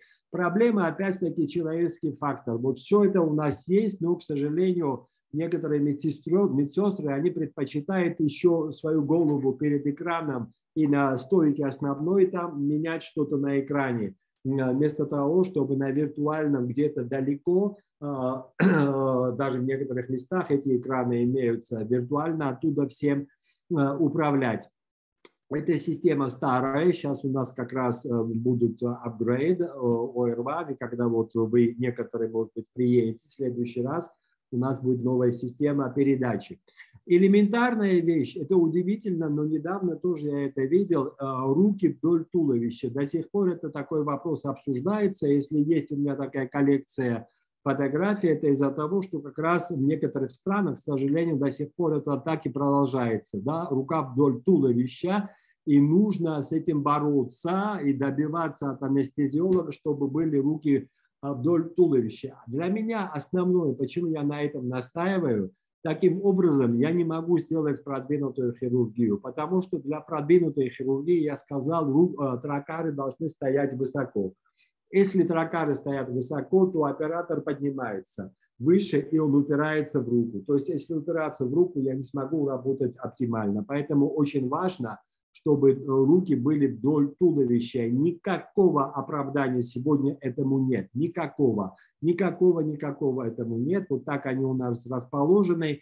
Я специально сделал большую фотку, то есть зум на систему вот, перфузии специальная система перфузии, э, которая не перегибается, как душ от шланга, вот даже референс я поставил, и поэтому э, сегодня это никакой проблемы не должно вызывать, что перфузия где-то далеко. Если анестезиолог говорит, что не будет доступа к венам, э, это опасный анестезиолог, потому что доступ к венам нужен особенно при геморрагической катастрофе, при коллапсе, да, и коллабированные периферийные сосуды, они непригодны. При большом, большой кровопотере всегда нужно подходить к большим сосудам, центральным сосудам, и они всегда доступны для анестезиолога. То есть периферийные сосуды – это не оправдание. Ноги чуть-чуть раздвинуты для манипулятора. Позиция Тренделенбурга должна быть максимальной. Это не наш стол, просто так э, из моей коллекции. И просто маленькое, чтобы чуть-чуть вы отдохнули. Тренделенбург, я не знаю, видели или нет, для чего Тренделенбург был придуман. Это статья э, из публикации некого Тренделенбурга, который был кто? Был урологом. И он предложил такую позицию. В то время не было столов. Он сам разработал первый стол. Это его ассистента а, держал а, вот так ноги пациента. Почему я настаиваю, что это был уролог, если посмотрите, это мужчина. Это на операциях на предстателой железе, чтобы а, кровь отошла до начала операции, чтобы меньше кровило. Вот для этого была идея, чтобы меньше кровило, ставили в такое положение, а потом постепенно уже было использовано в других показаниях и особенно для лапароскопической гинекологии. Организация операционной, мы сказали, два человека работают, и вот распределение инструментов. Почему тут тоже то, что я вначале сказал, в левой руке биполяр, в правой ножницы. Это у нас интуитивно у правшей. Э, левши, они могут по-другому, они могут стать вообще э, с правой стороны пациентки. Мы стоим с левой, когда работаем в тазу, да, я буду говорить о, гинекологах. У нас эта привычка резать что-то у нас в голове. Это у нас установка, физиологическая, психологическая установка резать что-то правой рукой. Поэтому ножницы надо брать в правую руку. Это раз. Второе, через срединный тракар мы можем достать любую точку одинаково. Если где-то что-то сложно достать через этот тракар, подойти, то есть к структуре, можно переставить потом. Но если ставите в левый тракар ножницы, он удобен для чего-то, но для большинства других мест брюшной полости он неудобен. То есть удобный, идеальный, универсальный – это ножницы посередине. Тем более все инструменты, это была идея тоже Шторца, они были первыми. Это была тоже Ватеза, когда мы говорим роби, что такое роби? Rotating, ротационный биполяр. И все инструменты у Шторца, они ротационные. Вначале инструменты не были ротационными, да, и нужно было разворачивать полностью кисти, это было сложно и так далее. Сейчас можно развернуть только пальчиком. И поэтому в середине изогнутые ножницы ротационные, ими можно дойти до любой точки. Поэтому это очень важно. А в левой руке у нас остается вилка, то есть это а, биполяр, который зажим. Можно им зажимать легко, движение проще. Открываем, зажимаем, открываем, зажимаем. Поэтому две руки у нас уже рационально распределены. В левой руке биполяр, в правой руке ножницы – а, остается ассистенту, который тоже интуитивно камеры будут держать в левой руке, а в правой руке остается инструмент более активный. Это зажим, и не только зажим, иногда мы доверяем также другие инструменты, и это должно быть правой руке. Мы доверяем иногда ножницы, но как раз они должны быть у ассистента правой руки. Следующий вопрос, если я э, не вернусь. Когда мы режем что-то, мы должны натягивать натягивающиеся структуры расходятся. Поэтому из поля должен уходить бипараз слева, справа зажим инструмента тоже уходить, не выходя полностью. И таким образом натягивается структура, и мы режем посередине. То же самое мы делаем в лапаротомии. То есть тут ничего мы не, не придумали, просто из-за того, что тракары фиксировано, иногда как-то фантастически ставятся инструменты, а есть всегда рациональное звено, рациональное и даже физиологическое, как я вам говорил, для правшей ножницы, режущий инструмент, то есть важный с другой стороны опасный, он лучше должен контролироваться. И вот такие а, ситуации, когда ассистенту мы не даем работать, это тоже плохо. У ассистента это правая рука, у оператора тут неудобная позиция – и видите, а, а оператор использует левую руку для ножниц. Зачем? Почему? Потому что он не доверяет ассистенту.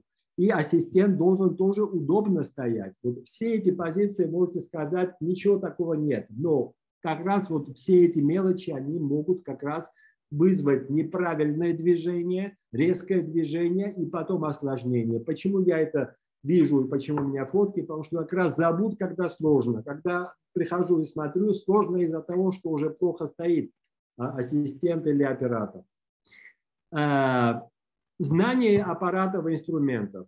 Надо знать, когда спрашиваешь у хирурга, иногда сам доктор не знает, что это такое, томограф или не томограф. Да? Поэтому вы специалисты, вы профессионалы, вы должны все знать, как работает каждый инструмент. То же самое, как в авиации. Они знают намного больше, у нас меньше, может быть, надобностей, но мы должны полностью знать. Не должны э, быть на, э, так сказать, не, только на знании а, на, на знание медсестры, медбрата и так далее. И самое главное, первое, то, что как мы видим. Все в жизни зависит от того, что и как мы видим.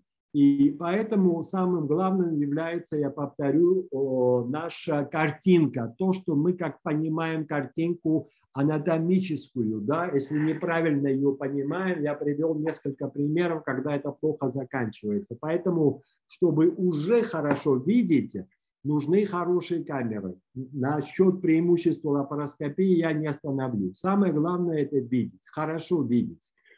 Хорошо видеть. Э, эволюция, история очень интересная. Я не остановлюсь на этом, просто это картинка 1896 года если я не ошибаюсь, в любом случае это 19 век, а, а, обзор видения – это всегда цепь. Цепь. Есть источник света, тут была, был газовая горелка, система для того, чтобы направить, это зеркала, направить свет куда-то, а, в этот инструмент, который был просто полным, тогда линз даже не было, и хирург, ну, это цистоскоп, уролог через это место, отверстие смотрел, что происходило а, в брюшном а, пузыре. Поэтому надо отдать а, должное урологам, которые стоят у истоков вообще эндоскопии. И это почему я сказал? Это цепь, и она цепью и остается. Когда у нас плохое изображение на экране, надо автоматически проверить все или вы сами, или должен проверить э, э, медбрат, медсестра всю цепь. Как есть цепь Ариадны, да, надо идти от первого к второму, второму, третьему, четвертому, пятому и шестому. У нас было недавно то, что я повторяю, элементарная вещь. Между операциями чистят, да, стойки, колонки там промывают. Сегодня особенно очень большое а, на этом акцент, все чистят и так далее. А, на первой операции два экрана работали, на второй операции второй экран не работает. Ну, не, непонятно, нелогично, что произошло.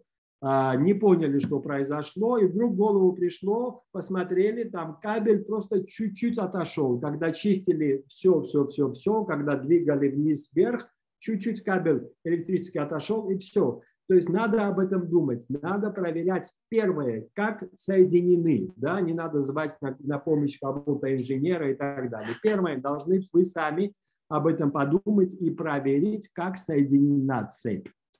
Первое – источник света. Самое важное – источник света. Сегодня у нас замечательные источники света, поэтому, пожалуйста, в операционных не надо свет выключать. Это ошибка. Это опять инерция в голове. Это идет с той поры, когда были плохие источники света, галогеновые источники света, когда камеры были плохими и приходилось еще э, утемнять операционную. Сегодня необходимости нет. От этого устают глаза оператора, от этого повышается, понижается э, вообще безопасность. На операционном столе мы берем иглы и так далее – анестезиолог недоволен, и поэтому это очень плохая идея. Пожалуйста. Этот источник света до сих пор имеется, хотя я должен убрать эту картинку, потому что у нас галогеновые, это э, уже исчезли. Я быстро это проскочу, я просто покажу одну вещь. Качество света является очень важным. Сегодня идеальным является, конечно, э, раньше это был э, ксенон, сейчас у нас LED источники света. Вот я это хочу показать, потому что вот это видео у меня в лекции, наверное, уже 20 лет. Источник света называется холодным источником света, да? Но я смотрел, до сих пор в мире где-то от 200 до 500 ожогов в операционных из-за холодного источника света. Почему я недавно смотрел это? Потому что впервые за вот мою практику у моей пациентки был ожог. То, что ожог возможен, теоретически я знал. Почему? Потому что на кончике световода, например, температуру элементарно измерить, и температура а, поднимается 250 больше градусов Цельсия. 250 а, градусов Цельсия. 250 можно а, обжечь э, кожу очень быстро. Да? И вот ожог. И механизм очень интересен. Это складка, узнаете, складка, паховая складка с левой стороны. В конце гистероскопии у пациентки ноги раздвинуты, когда мы заканчиваем гистероскопию, укладываем гистероскоп поперек между двумя вот этими складками, да, на, над пациентку, на над пациенткой укладываем, отключаем, там что-то убираем. И, как всегда, автоматически у нас медсестра ставила э, стендбай на источники света. Я не знаю, что произошло в этот день. Она не поставила, и как раз в этот день э, кончик э, касался гистероскопа кожи, и вот был такой ожог. А потом пациентка ко мне пришла, конечно, после операции, через месяц. Она была очень недовольна, потому что это очень болезненное место. И а, такие ожоги, они очень долго заживают. Я уже не посмелился ее попросить, чтобы сделать фотографию этого места, но был очень некрасивый такой черненький струп на этом месте. И самое главное, она сказала, что очень болит. И проблема была в том, что забыли отключить, не отключить, а поставить в standby. Вот поэтому я говорю о деталях. Вот такая маленькая деталь, мне повезло. Пациентка нормальная, и она понимает, я изменился и так далее. Но она могла а, пожаловаться тоже, не было бы никакого оправдания ни хирургу, ни медсестре, которая была в тот день в операционной. Надо поставить на standby, надо поставить на standby, не отключать, а ставить на стендбай.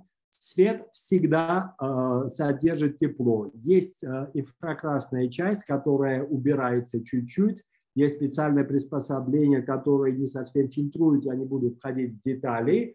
В любом случае с ледом намного меньше а риск ожога, но все равно не везде могут быть леды и так далее. Поэтому, пожалуйста, будьте, будьте бдительны. Я тоже так думал 25 лет, что не будет ожога, и вот это было буквально в прошлом году.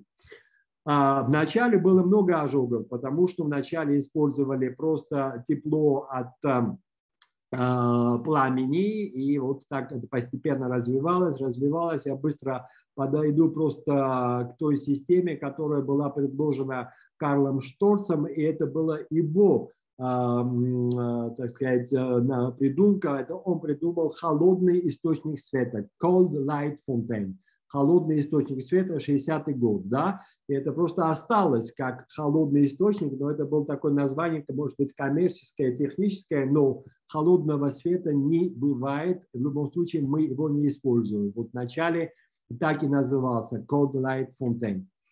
А, сегодня мы используем LED, это намного лучше, я это быстро все пройду, маленькие детали, надо делать э, баланс белого, и все-таки я скажу два слова о камерах, как они развивались. Видите, первые камеры, они были просто тяжелыми. Нужно было тренироваться до операции, чтобы держать вот такие большие камеры. Называлась Витикон в конце 50-х годов. А, это я даже в русскоязычной книге нашел. Первая видеоэндоскопия, 56 год. Видите, какая большая камера. А, первая камера, которая была у нас, она еще лежит, типа музей, 88 год, а, Шторц, а, Шторцевская камера. И, конечно, сегодняшние камеры не сравнить э, со всем этим. Я быстро просто хочу показать, в чем значение камер. Мы все знаем и часто слышим пиксель. Пиксель – это точки, pixel, picture element, то есть это маленькие точки. Чем больше точек изображения в э, одной, на одной площади, тем лучше мы видим изображение, тем лучше мы видим детали. То есть мы говорим о разрешении изображения. А, и э, когда мы перешли с стандартной камерой на HD, Full HD и так далее, как раз мы увеличили количество этих пикселей. И со стандартным HD у нас было 2 миллиона пикселей. А, и это было очень долгое время стандартом, а сейчас стандартом становится уже 4К, и, наверное, уже скоро этого не будет, мы пойдем еще дальше. Сейчас а, у нас 4К, то есть 4К 8 миллионов пикселей, и тут очень красиво это все описано. Видите, на одной площади, как мы видим изображение, вот такое старое изображение, и когда намного больше деталей мы видим, практически у нас микрохирургия. А, посмотрите это видео. Я просто коагулирую монополяром, и смотрите, мы видим даже сосу, у сосуды и видим, как идет кровь по сосудам и как идут а, даже а, пузырьки по сосудам. Видите, по-моему, да? Мы это раньше не видели, потому что просто такие мелочи изображения нам даже HD не показывало. Поэтому однозначно для всей продвинутой хирургии, когда нужны детали, это очень важным является. И 3D. Мое любимое 3D, потому что 3D это намного физиологичнее, однозначно, особенно для продвинутой хирургии. Мы ведь не в одной плоскости делаем движение. Мы то глубоко уходим, то поднимаемся. Мозг, он возможно, он анализирует все это, но в любом случае у нас контроль изображения 4К и так далее все равно на плоском экране. Когда мы делаем операции 3D, когда делаем продвинутые операции, онкологию э, и особенно пролапс, все меняется. Однозначно время выигрываем, однозначно лучше мы видим. У нас иногда вопросы, что это такое, куда пойти, налево, направо. Когда мы работаем 3D, у нас намного быстрее мозг работает. Поэтому, когда задают вопрос, не устаю ли я лично, наоборот, я меньше устаю, потому что мозг, он отдыхает ему нужно меньше работать, чтобы понять, как перевести трехмерное изображение а, в двухмерное и как это анализировать, какой сигнал мне давать. Единственное, и вот это тут очень наглядно видно, да, почему важно а, видеть а, в трехмерном изображении, а не только в двухмерном. Абсолютно меняется послание, абсолютно меняется понимание проблемы. Есть работы, где просто это подытожено и прямо скажем, сказано, работа в 3D а, улучшает а, а, скорость, то есть улучшает, быстрее работаем и уменьшает количество ошибок. То есть это абсолютно понятно физиологически и так далее. Просто у нас их нет, и благодаря компании Шторц и благодаря Мирабу я впервые, по-моему, а, вот э, в Казахстане, это я не знаю, сколько лет уже прошло, первый раз попробовал э, эти 3D, это опять в Казахстане, в Тбилиси 3D, но, к сожалению, тут администрацию э, никак мы не можем уговорить, чтобы нам купили 3D. Ну, это маленькая такая деталь. Несколько слов о развитии камер.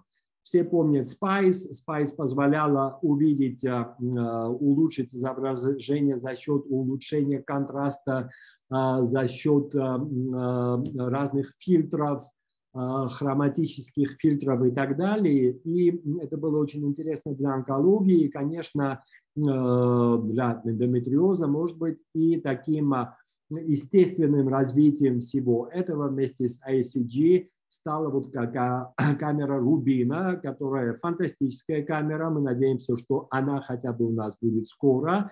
А, если вы помните, ICG нужно было убирать свет, а, и практически операция останавливалась на этапе диссекции, надо было потом снова возвращаться на обычный свет, а, белый, можно сказать, чтобы продолжить операцию. Тут не надо менять ничего, в смысле добавляется режим ICG а, и можно продолжать оперировать, и одновременно видна флуоресценция. Поэтому это однозначно очень-очень-очень большой прогресс для онкологии. Мы используем также для эндометриоза, а, пробовали для эндометриоза, для оценки васкуляризации а, ткани.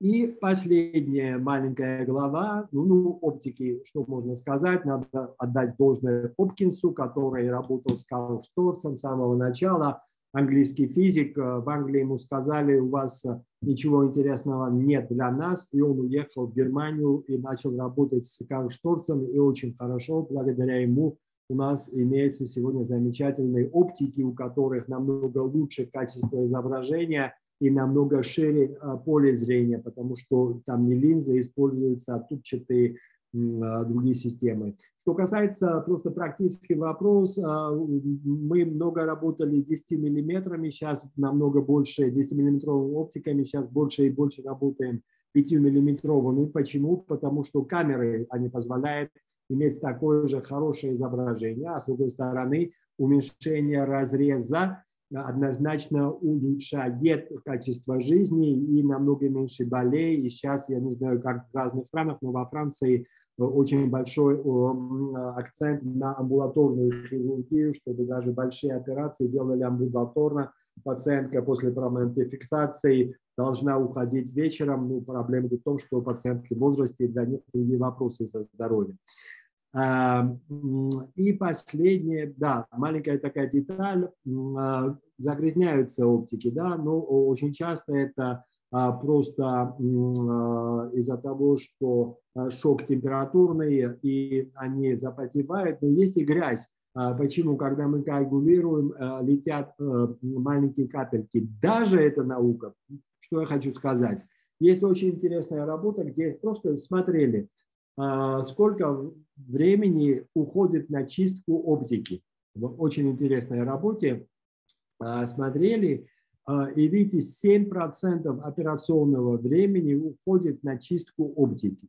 А несмотря на это, 37% операций, времени операции, оптика грязная. И грязная оптика для меня, она опасная оптика. Поэтому этот вопрос все-таки не полностью решен но он является важным вопросом. Мы нашли такой оптимальный выход, это, конечно, термос. И последнее, инструменты. Инструменты должны быть простыми, простыми и многофункциональными. А, каталог инструментов всегда очень интересно смотреть. А, иногда а, над нами издеваются и говорят, вот, можно лапаротомию сделать только скальпелем, а для лапароскопии вам нужно столько-то дорогих инструментов. Да, иногда, иногда да. К сожалению, э, к сожалению, я считаю, некоторые используют абсолютно ненужные, дорогие, модные аппараты, инструменты. А, а я всегда показываю этот слайд. Э, может не согласиться, но все, большинство операций можно сделать тремя инструментами. Это биполяр, без биполяра Робби особенно сегодня работать нельзя, невозможно. Почему? Потому что мы сказали, хирургия – это диссекция, это гемостаз, это экспозиция. Робби позволяет все это делать и очень хорошо и быстро. Ножницами можно сделать также диссекцию и резание, конечно, и зажимами можно делать экспозицию и диссекцию. Конечно, я чуть-чуть утрирую, но это должно быть установкой. Есть специфические какие-то инструменты, которые нужны. Потом добавляются иглодержатели, добавляются марселяторы и так далее. Но очень часто просто из-за каприза и не за понимания хирургии я вижу в течение 50 минут 10 раз оператор достает инструмент, просит второй, третий, четвертый, пятый, шестой. Нет, нет. Нужны определенные специфические инструменты, но это должно быть больше исключением из правил, чем э, правилом. Вот это наш операционный стол стандартный. Значит, Робби биполяр, старая модель тоже лежит, мы его не выбрасывали. А, несколько зажимов, это 10-миллиметровые, мы э, используем для мионектомии в основном. Ножницы должны быть одноразовыми, или вставка должна быть одноразовой. И, конечно, иглодержатели 3 обязательства и пушер. Вот этим можно сделать абсолютно все. Если потом э, у нас большая лимфоднектомия, у нас даже набор сосудистых инструментов есть. У Шторца есть замечательные сосудистые инструменты для лимфоднектомии, то есть это для сосудистой лапароскопической хирургии, и он у нас имеется этот набор, потому что там специальные сосудистые зажимы. И есть еще несколько таких специфических, но это исключение. Это еще второй стол. Видите, тут еще меньше инструментов лежит. Самое главное – это Робби, мы об этом потом поговорим. И самое главное, вот правильно надо выбрать то, чем мы режем. И, конечно, очень важно иметь э, ножницы, которые хорошо режут. Ножницы, которые не режут, это катастрофа. И почему я настаиваю на одноразовых? Почему? Потому что мы используем, очень много используем монополяр. Арно отец использует монополяр на ножницах, я использую монополяр но монополяр тупит инструменты. То есть, если вы используете на многоразовых, все, это уже не многоразовые, надо их выбрасывать. Поэтому а, должны быть одноразовые или есть у Шторца одноразовые вставки. Если посмотреть каталоги, а, они несколько, такой десяток а, страниц, если не сотня, толстые каталоги, вы знаете, да, а, но а, практически вот нам а, достаточно зажима Манеса, несколько, конечно, тоже зажим Манеса, то, что я показывал для зажима сосудов, и так называемый кишечный зажим. Вот. И это пример, тоже старое видео, глубокий эндометриоз от Арно Ватьеза. Нет, не Ватьеза, это Канис у нас оперирует давно. Шейвинг. Шейвинг сейчас все стало модно. Это видео должно быть где-то 96-95. Видите, для того, чтобы держать хорошо этот узел, э, он держит зажим Манеса. Только зажимом Манеса можно это хорошо держать. Чем можно хорошо делать шейвинг? Сейчас модно там лазер, плазма, я не знаю, все. Но ножницы. И видите, ротационные ножницы, они развернулись и по-другому зашли в слой. Даже иногда мы меняем 2-3 пары ножниц во время большого шейвинга, потому что эта ткань фиброзная и тупятся ножницы. И все. Есть система аспирации, где-то есть еще биполяр, и для этой хирургии это абсолютно достаточно. А хирургия, наверное, одна из самых продвинутых, самых сложных, опасных. Сосудистая хирургия – это наш с Мирабом друг Маркоджи, как раз это я снимал когда он оперировал в Астане много лет тому назад, с экрана. Это фантастическая хирургия. И тут он постоянно говорит, надо тренироваться вне операционной. Для этой хирургии есть специальные зажимы, остальное тоже стандартные инструменты. Стандартные инструменты даже меньше, чем при э, открытых сосудистых операциях. Самое главное, нужны иглодержатели. Это Какая хирургия? Это наша хирургия, и это наша глупость, наша ошибка, моя личная. В конце лимфоднектомии я перерезал нерв. И э, нерв запирательный, я его э, зашил, хотя потом многие сказали, не надо зашивать, ну хорошо, я его зашил. Это просто к тому, что вот нам нужны навыки шитья, навыки шитья, шитья и на, нужны хорошие иглодержатели, они разного типа, но я всегда говорю, любым надо работать. Я сам лично люблю такие изогнутые, но надо уметь работать любыми иглодержателями, и нужно иметь такое элементарное приспособление, как а, что, пушер. Надо просто знать, что пушер был разработан для э, открытой хирургии неким Кларком, а, много лет назад для проведения операции а, через мини-лапаротомические разрезы. И я всегда говорю, пушер – это ваш палец, поэтому я даже не отдаю медсестре, я его оставляю в руке, надо наловчиться делать узлы, держа пушер, так быстрее, и тут не, ускоренное видео, надо уметь и надо шить быстро. Если мы теряем время, это в основном во время диссекции, а на таких этапах, как шитье, время терять нельзя, неоправданно. Система мытья – это тоже философия. Если мы говорим, что не надо много мыть, то обычная система простая, которая просто э, гравитационно она подвешивается и без всякого только гравитационное давление достаточно, то вот мы такую систему используем, разные там помпы и так далее, мы больше не используем. Хотя можно, конечно, если есть у вас. И тракары тоже, я просто скажу два слова. Тракары должны быть приспособлены для шитья. Если у вас такие тракалы с, клапанами, которые остаются открытыми, когда вы делаете экстракорпоральное шитье, то у вас будет уходить газ. Поэтому сегодня есть много тракаров, которые позволяют проводить и нитку, инструмент, и иглу так, чтобы газ не уходил. Эти тракары были разработаны ватьезом для шитья. Они, я считаю, они самые удобные. Двойная система клапанов. Сам Арно это использует. Я продолжаю тоже это использовать, хотя есть другие. И когда я говорил, есть определенные э, некоторые инструменты, необходимые. Э, без этого продвинутая хирургия не делается. Это игла Берси. Игла Берси, она используется для подвешивания, для разных процедур, но игла Берси, она очень важна для зашивания тракарных ран. 10-12 миллиметровых тракарных ран в конце операции. Это тоже стандарт у нас. Когда мы заканчиваем, всегда зашиваем под контролем зрения.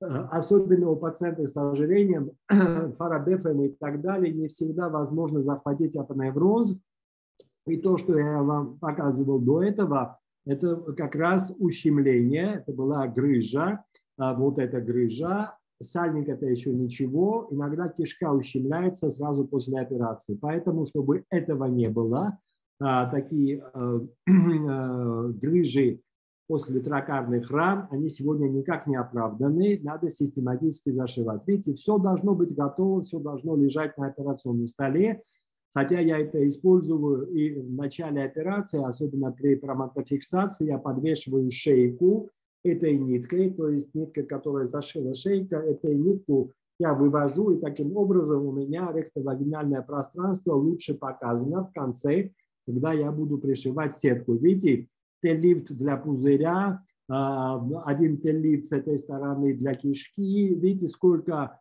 но это и есть хирургия. Хирургия и есть как раз то, что я говорил, а, экспозиция. И ну, мешки я не остановлюсь, мешки они обязательные.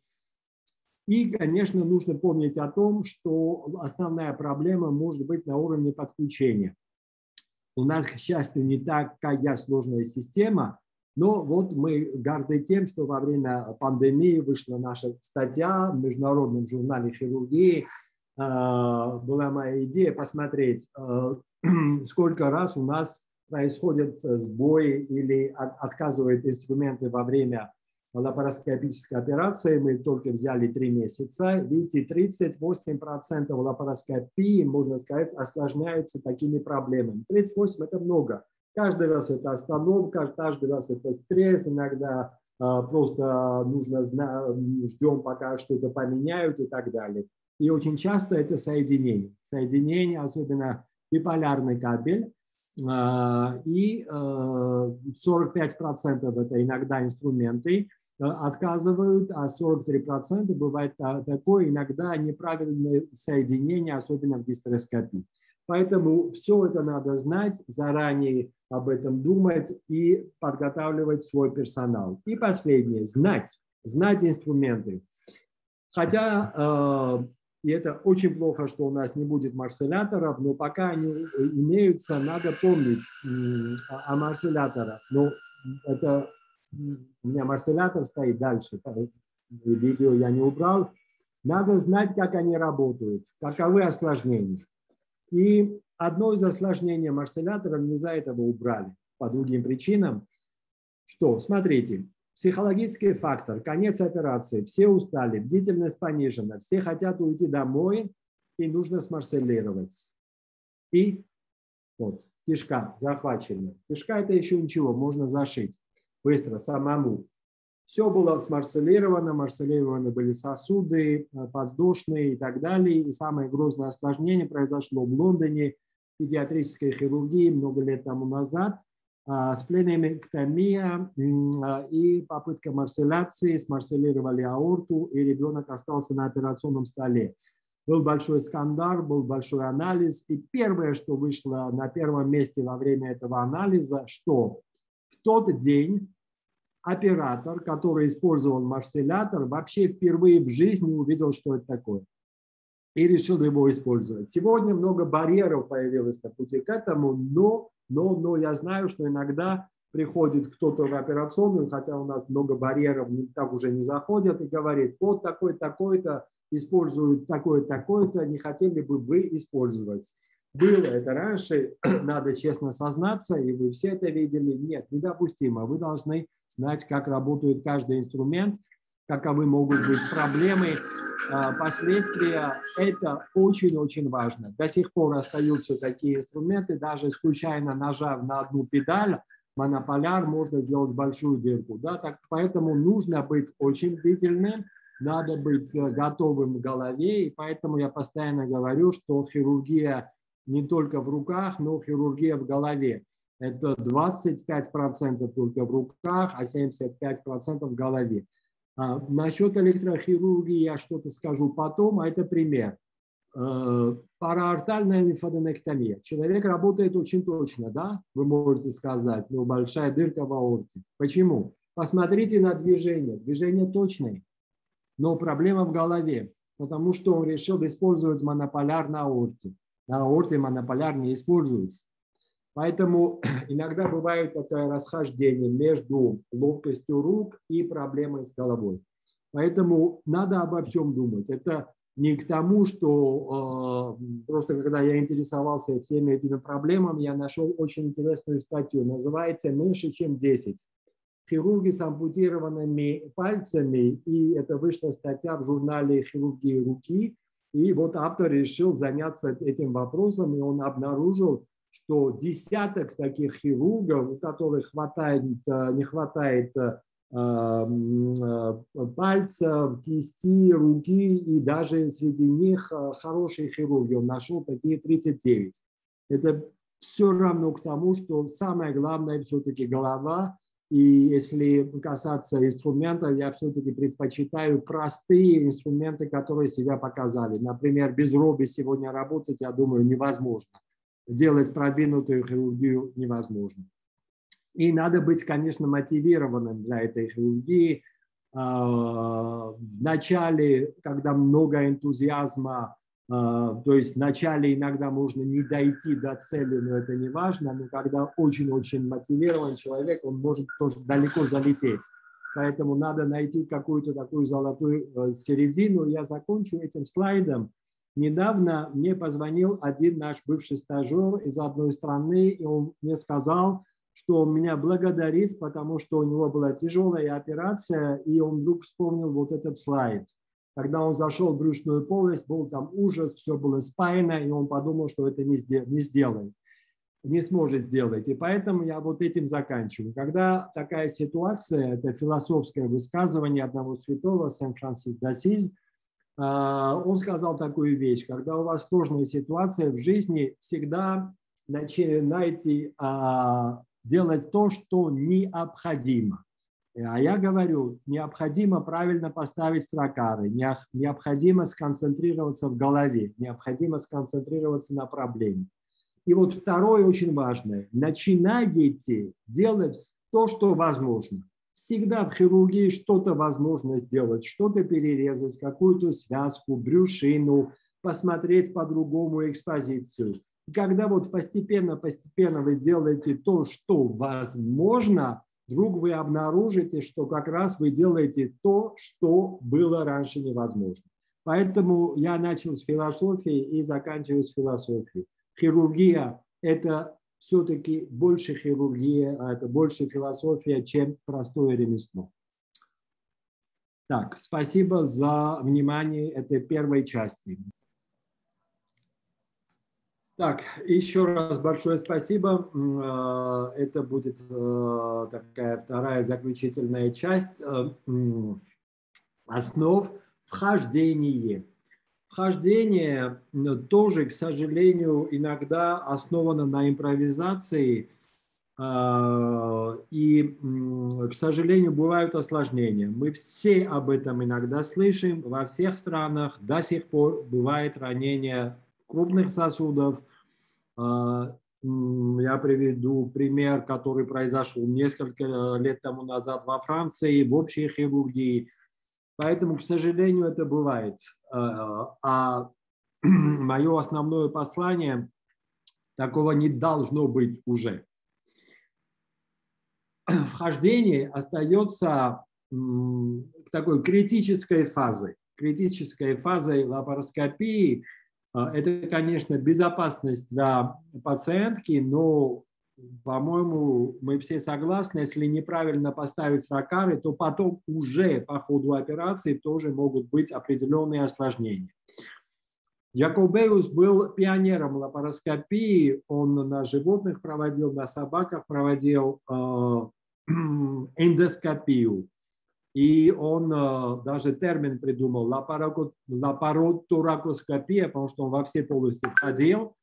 Э, и он уже в то время, в 1911 году сказал, что для общего такого внедрения а, лапароскопии, чтобы лапароскопия нашла свое применение общее, она должна стать полностью безопасной. Потому что, потому что, к сожалению, противники лапароскопии иногда приводят вот такие разные факты а, осложнений. Если просто посмотреть литературу и сделать поиск, лапароскопия – осложнения, да, Какие статьи выходят? В основном выходят статьи с такими названиями. Ранение крупных сосудов в лапароскопии, ранение тракарами в лапароскопии, ранение кишечного тракта. Но в основном все-таки ранения сосудов считаются сами, самыми грозными а, осложнениями. Это, конечно, нереальная ситуация, но немножко, чтобы разрядить обстановку, вот я покажу чем Арно Ватьез занимался много-много лет назад а, в Клермон-Ферране. Это просто типа для капустника было сделано а, Жан-Люк Пули и Ватьезом такое видео, оно большое, просто эту часть я показываю, вторую часть покажу потом, а, как надо вводить тракар. Что вводение тракара, текст идет, что вхождение тракара должно быть всегда полностью безопасным еще раз посмотрим и потом продолжим. А, если посмотреть разные статьи, я это привел специально. Почему? Конечно, без всякого такого другого контекста, а, это обзор об осложнениях в странах с низким и средним доходом. И, к сожалению, много стран постсоветского пространства входят в эту категорию, и в этой статье такое заключение, что в этих странах все-таки больше тяжелых осложнений. А, поэтому еще раз надо быть бдительным. Хотя вот я привожу как раз статью, хотя она из общей прессы, драма Метца так называется, и даже в такой газетной статье написано, что а, риск ранения сосудов – это известный фактор такой, известный факт а, лапароскопии. В 2014 году произошло, ребенка взяли на э, аппендэктомию, произошло ранение крупного сосуда в частной клинике, были какие-то накладки, хирург, который пришел на помощь, э, он еще ухудшил ситуацию и так далее, и так далее. Если посмотреть публикации насчет вопроса, и много публикаций, это статья 2001 года, которая как раз основывается на медико-легальных проблемах. Почему это интересная статья? Потому что там в деталях все было анализировано, э, и это данные одной страховой компании, которая страхует в Соединенных Штатах и вне Соединенных Штатах. Поэтому тут такое разделение Соединенные Штаты и вне Соединенных Штатов. И интересно, что, например, а, вне Соединенных Штатов 50% вот таких тяг медиколегальных из-за ранения сосудов и кишечного тракта во время вхождения – это диагностическая лапароскопия, то есть простые лапароскопии. А, та же самое лигирование труб, мы видели осложнение такое, тупое осложнение, когда а, просто не туда поставили клипсы для легирования 10%. Это тоже объясняется, наверное, тем, что очень часто делают начинающие, у которых нет опыта. А в Соединенных Штатах это холецистектомия. Эти видео тоже из разных стран от моих коллег, а, когда при вхождении находится большая такая гематома, это или игловереша, а, или а, тракар. Тут даже видео, качество видео плохое, даже видео след от тракара. И почему это происходит? Да, конечно, разные причины, но все-таки в литературе это написано, все-таки чаще всего несоблюдение правил и импровизация. Импровизация. И опять иногда думают, что фактор э, везения поможет. Да? Вот такое на вид грозное осложнение, и удивительно, ничего не произошло. Да? Но опять-таки не надо только на везение, и вообще на везение рассчитывать нельзя. Но тогда вы скажете, как делать, где останавливаться. Поэтому послание должно быть простым. Правила должны быть простыми. В этом проблема.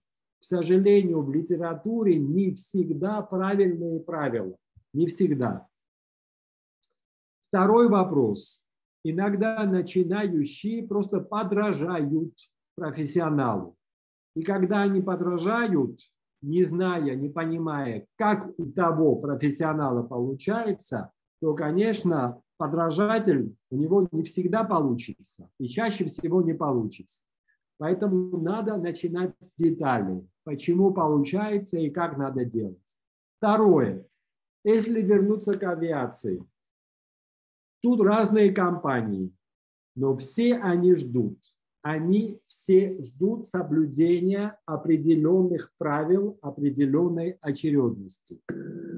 И пилоты нам говорят, взлет – самая важная часть, это религиозная часть все молчат, все сконцентрированы. Если вы обратили внимание, никаких объявлений, ничего не делается во время взлета.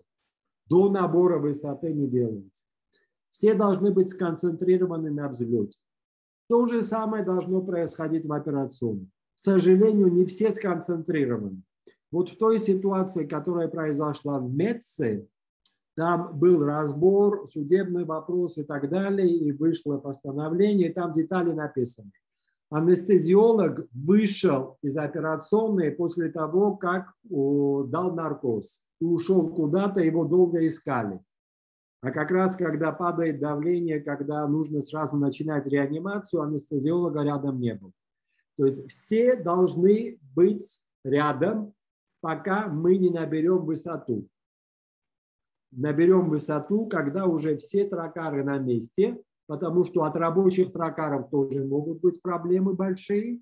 И когда начнем операцию, это не сигнал к тому, чтобы куда-то далеко уходить. Но все-таки маленькое расслабление возможно. Самое главное – концентрация во время хождения и набора высоты, когда мы смотрим на инсуфлятор, как он набирает давление. Что надо знать? Какие органы затронуты? Да, грубо говоря, кишечник и э, сосуды, но у нас есть четкая статистика. Нужно всегда смотреть большие серии. В больших сериях на первом месте все-таки это кишка, тонкий кишечник. Его больше, и его можно найти везде, грубо говоря, особенно когда спайки. Удивительно, как можно первым тракаром задеть прямую кишку, но видите, есть статистики. Среди сосудов на первом месте подвздошные сосуды, подвздошные артерии. Это очень важно. То есть не сразу под пупком мы знаем аорта, полая вена и так далее. Нет, как раз грубое ухождение в сторону, в сторону, на подвздошные сосуды сосуды, брыжейки 11%, может быть, это ничего, но я видел такие сильные кровотечения. Пузырь сегодня редко бывает, потому что тут дело касается также дополнительных тракаров. Низкотракары мы редко ставим, поэтому это редко бывает. И видите, аорта только 8%. Но как в авиации редко. Мы очень хорошо знаем, что самый безопасный вид транспорта. Но когда происходит очень много жертв, то же самое аорта, то есть даже не столько, тут амплитуда важна. А, поэтому последствия грозные. Смертность от ранения аорты на операционном столе 25%. Ранение аорты хирургическое во время хирургической операции вообще очень сложно решаемая проблема. И сосуды стенки э, брюшной 7%. Что касается таких больших метаанализов, кишка на первом месте, большой метаанализ 80, 85 350 пациенток, анализированный в одной статье 2002 э, года 0,7 на 1000. Лапароскопия ранения кишечника сосуды на втором месте, можно сказать, два раза меньше 0,4 на 1000. Но я повторяю, сегодня даже 1 миллион осложнений вакцинации, 1 на миллион не согласно население. 0,4 на 1000 – это не маленькая цифра. Подумайте, когда люди говорят, вот я делаю столько-то, столько лапароскопий, много, тысячи лапароскопий. Как раз чем больше делаешь, тем больше статистически может попасть, можешь попасть вот в такую группу. То есть одна, одно такое мощное осложнение на тысячи лапароскопий. Я знаю много хирургов, которые делают 2-3 тысячи лапароскопий в год. Тем более, когда дело касается команд, некоторые команды наши делают где-то до 5 тысяч лапароскопий в год. Но не надо только лапароскопию винить в осложнениях начала операции. Ранение кишечника на первом месте в лапароскопии. А вы знаете, что в лапаротомии на первом месте ранения в начале – это тоже ранение кишечника. Большие серии однозначно это показывают. Статья называется «Ранение кишечника. 10 лет опыта. Большая клиника американская, большой серьезный американский журнал». Лапаротомия 5700, 8,4 ранения кишечника на 1000 во время лапаротомии. Мы это очень хорошо знаем, понимаем. Лапаротомия срединная делается на том же месте, где была сделано предыдущее, и есть ранение кишечника. Мы об этом поговорим. Даже при вагинальных больше операциях, чем при лапароскопии, я говорю, ранение кишечника. Даже при дилатации кюртажа можно ранить кишечник, мы все это знаем. Поэтому не надо только лапароскопию винить в том, что есть осложнения во время начала операции, во время вхождения. Следующий вопрос надо разбираться, какие техники, какие преимущества, какие специфические осложнения у каждой. Если схематично выделить техники, то есть две группы техник. Так называемые закрытые или слепые и техники открытые. Закрытая уже так ментально понятно, что закрытая слепая, она будет более опасной. И самая распространенная закрытая это игла пневмоперитония и потом тракар. То есть два жеста слепых. Введение иглы. И очень часто забывают, что инсуфляция слепая чего-то может быть также очень опасной. Это не механическое ранение чего-то, но инсуфляция слепая.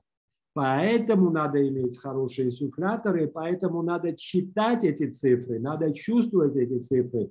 Иногда просто смотря на то, как цифры себя ведут, скачут на экране, мы на дисплее, мы понимаем, что-то не так.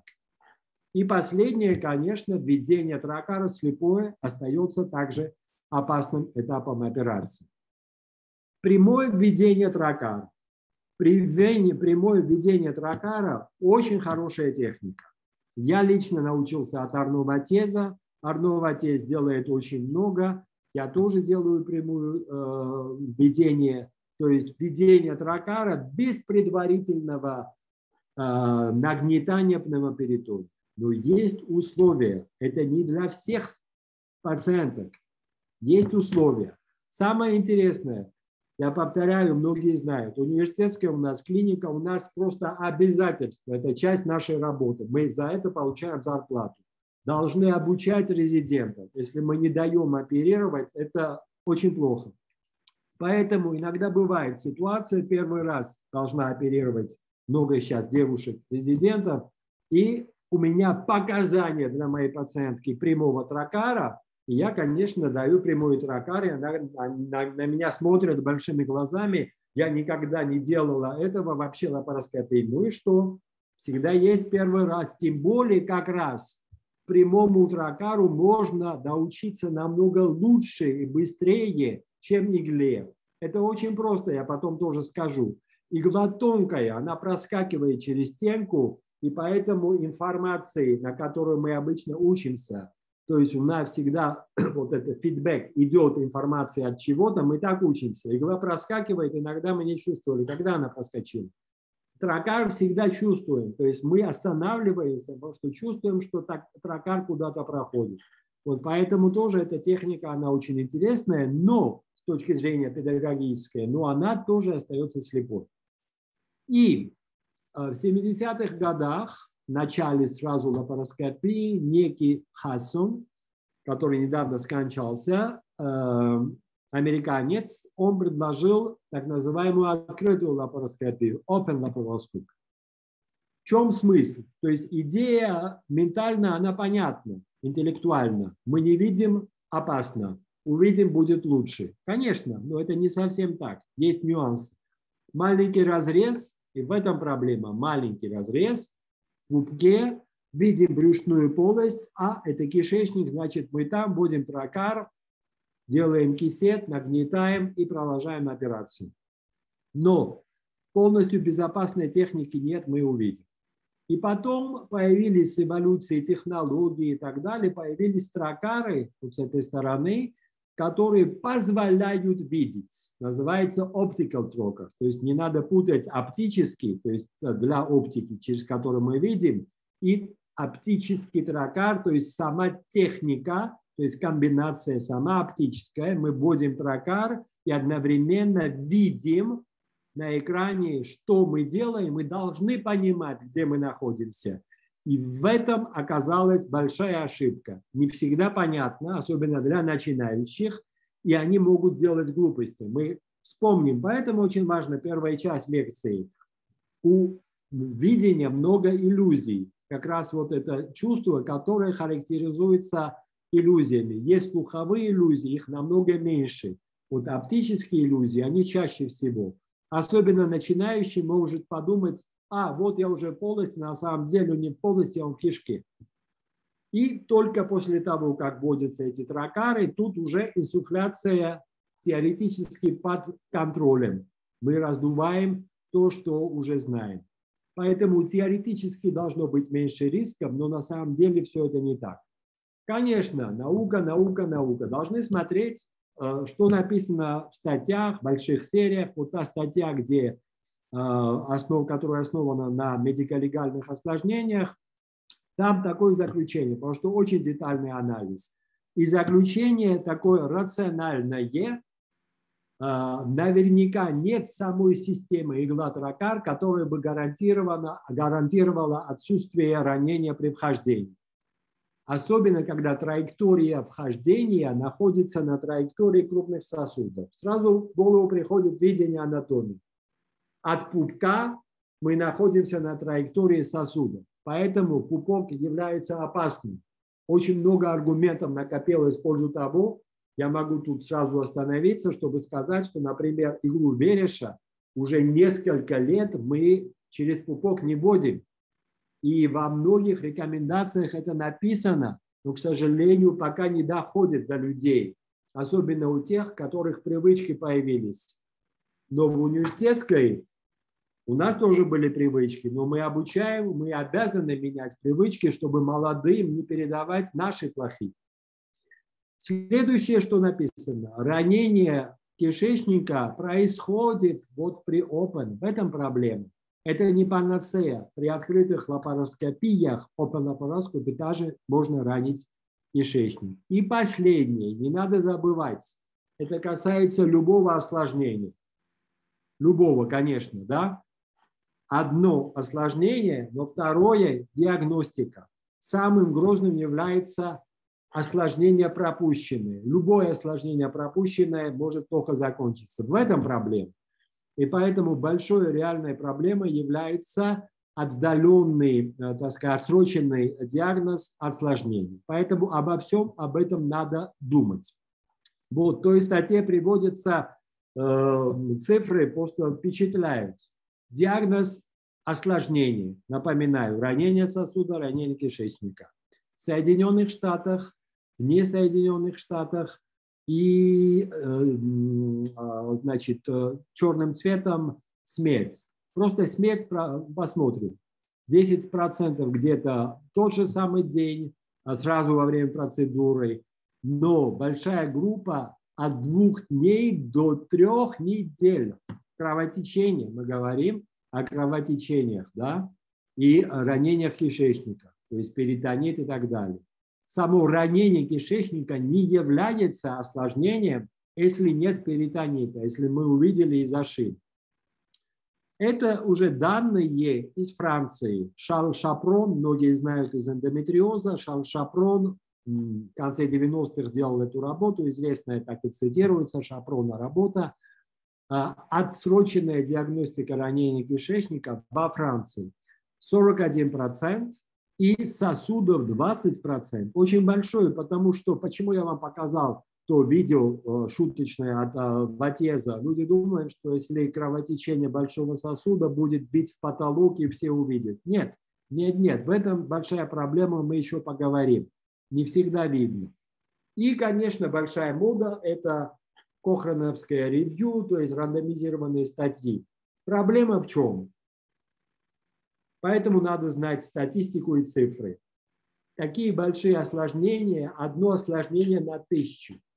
Чтобы в рандомизированной работе получить статистическую достоверную разницу, группы сравнительные, сравниваемые, должны быть очень большими. И практически это невозможно. Поэтому все работы на маленьких группах. И поэтому, видите, только в 28 работах и только 4860 4860 э, пациентов и пациентов. Поэтому говорить о какой-то достоверной, абсолютной, что это Библия, Коран, я не знаю, Тора, и это рандомизированная работа так сказала, насчет этого вопроса нет. Кстати, насчет других работ тоже, в хирургии особенно, потому что в хирургии в рандомизированных работах очень часто не учитывается основной фактор, это сам хирург. И такой техники, чтобы хирург владел абсолютно одинаково разными техниками, таких я не знаю. Ватес не владеет разными техниками, другие не владеют. Бальзони не владеет влагалищной хирургией и так далее. Таких нет. Поэтому сравнивать влагалищную лапароскопию или разные – это нонсенс, на, на, на мой взгляд. Но это другой вопрос. Это все к тому, что я раньше сказал. Да, люди говорят, нужна доказательная медицина. Хорошо, посмотрим доказательную. Но они не высказываются. Они говорят, из-за того, что маленькие показатели осложнений, сложно сказать на основе этих работ, что надо делать, нет разницы. Но люди оперируют каждый день. Им надо что-то сказать. Поэтому вот я постараюсь сказать то, в чем я практически уверен и э, чему надо следовать. Э, я не знаю, э, Александр Басса смотрит или нет. Большое ему спасибо. Я забыл ему сказать спасибо. Он мне прислал эту статью. Я хотя и смотрю литературу, но конкретную эту статью я не видел. Она 2017 года. Это к тому, что это рекомендации разных обществ разных научных обществ. Это канадское общество акушеров-гинекологов тоже выпустило, такие гидлайны. И это тоже к тому, что в 2017 году опять выходят такие гидлайны от больших э, обществ научных. Да, я посмотрел и просто э, не привел в своей презентации детально, потому что практически то, о чем я говорю, тут говорится немножко по-другому, но практически не отличается от того, что я скажу. Поэтому, если подытожить, с учетом статистики, чаще всего ранение кишечника, поэтому них должно быть их, но самое главное сделать диагноз. Я повторюсь, само ранение кишечника, даже малюсенькое, не является опасным, но даже малюсенькое ранение может дать большой разливной перитонит. Поэтому надо сделать диагноз и надо сразу сделать лечение. И надо хорошо понять видео и то, что я скажу. Если умеет хирург прошивать кишку лапароскопически, он уверен, что хорошо прошьет, пожалуйста, пусть прошивает лапароскопически. Но если не умеет, не уверен, пожалуйста, можно сделать лапаротомию для прошивания петли тонкого кишечника. Можно через маленький разрез достать, прошить, продолжить потом операцию. Никто ничего не скажет, потому что не будет потом осложнений. Но если не увидеть, не зашить и потерять время, могут быть проблемы. Конечно, для пациентки, к сожалению, и для хирурга тоже. Но самое главное, не допустить никакого ранения сосудов. И вспомните, данные международные, данные э, также Шапрона, 20% сосудистых осложнений, мы говорим о аорте воздушных сосудов, как можно их пропустить? Элементарно. Это классика, к сожалению. В чем проблема? Особенно у тучных пациентов. Мы говорим о забрюшинном пространстве. Эти сосуды не всегда видны. Они прикрыты брюшиной, они прикрыты жиром, иногда кишкой. И если происходит ранение в начале, чаще всего это точечное ранение кончиком иглы и тракара, кончиком. И даже маленькое ранение крупного сосуда достаточно для того, чтобы дать большую кровопотерю, но эта кровопотеря не выходит в брюшную полость. Может быть другая сфера, но это большая классика гистероскопии. Ранение сосудов больших и смерть от этого. Описан перфорация матки, ранение крупного сосуда, но кровотечения нет в матке и не знают, что там э, кровотечение брюшной полости, пока не пойдет давление. Тут практически то же самое. Забрюшинно идет большая гематома, которая чаще всего вне поля зрения, падает давление, и еще второй механизм очень опасный. Если не увидели в начале и продолжили операцию, нагнетание давления ведет себя как жгут, который также прикрывает давление, но это не кровотечение, но это не гемостаз. И поэтому коллапс, падение давления происходит во время просыпания пациента. Тем более, если натуживается, кашляет и так далее пациент, и в это время падения давления анестезиологи иногда связывают с проблемами чисто анестезиологическими, а не с проблемами ранения сосудов. Поэтому очень такое грозное, опасное, и можно пропустить и не, не успеть сделать диагноз. Не успеть сделать диагноз. У меня в голове есть разные истории, но если я начну все рассказывать, я просто не успею. Поэтому надо сделать все, чтобы не было ранения крупных сосудов. И практически сегодня это возможно. Начнем с иглы. Первое. Риск-фактор. Иногда невозможно представить, где риск-фактор. Я извиняюсь за это изображение, но я до сих пор не понимаю, это, наверное, и называется вот э, судьба. Но рассчитывать на судьбу нельзя, мы сказали. Мы должны знать. Начнем с ранения кишечника. Где риск-факторы ранения кишечника? Не надо долго искать. Я сказал, надо упростить. упростить. Это перенесенные лапаротомии. После перенесенных лапаротомий в брюшной полости могут быть спайки кишечника и брюшной стенки. Мы не знаем, какого типа спайки. То есть мы знаем по нашему опыту после, иногда у пациентки огромные разрезы и так далее, входим, никаких спаек нет. Есть попытки найти корреляцию между тем, как выглядит э, э, разрез и какие спайки, но нет серьезных работ. Есть попытки ультразвуком найти подвижность кишечника, но ненадежно. Ненадежно, опять-таки, кто-то, который только это делает ультразвуком, может быть, найдет спайку, то есть скажет, что там спайка, но рутинно каждый день в клинике перед операцией это делать нет. Просто мы должны знать статистику. То есть разного типа могут быть. Может прямо кишка лежит на э, разрезе. Но вот есть статистика. Алан Одебер, один из пионеров лапароскопии во Франции, он систематически входил в левое подреберье 3-миллиметровой оптикой и смотрел наличие спаек брюшной полости у всех пациентов, у всех, у любых, без всякого анамнеза, первый, первая группа, вторая. После перенесенных лапароскопий, третья после фанерштеля, четвертая после лапаротомии средин.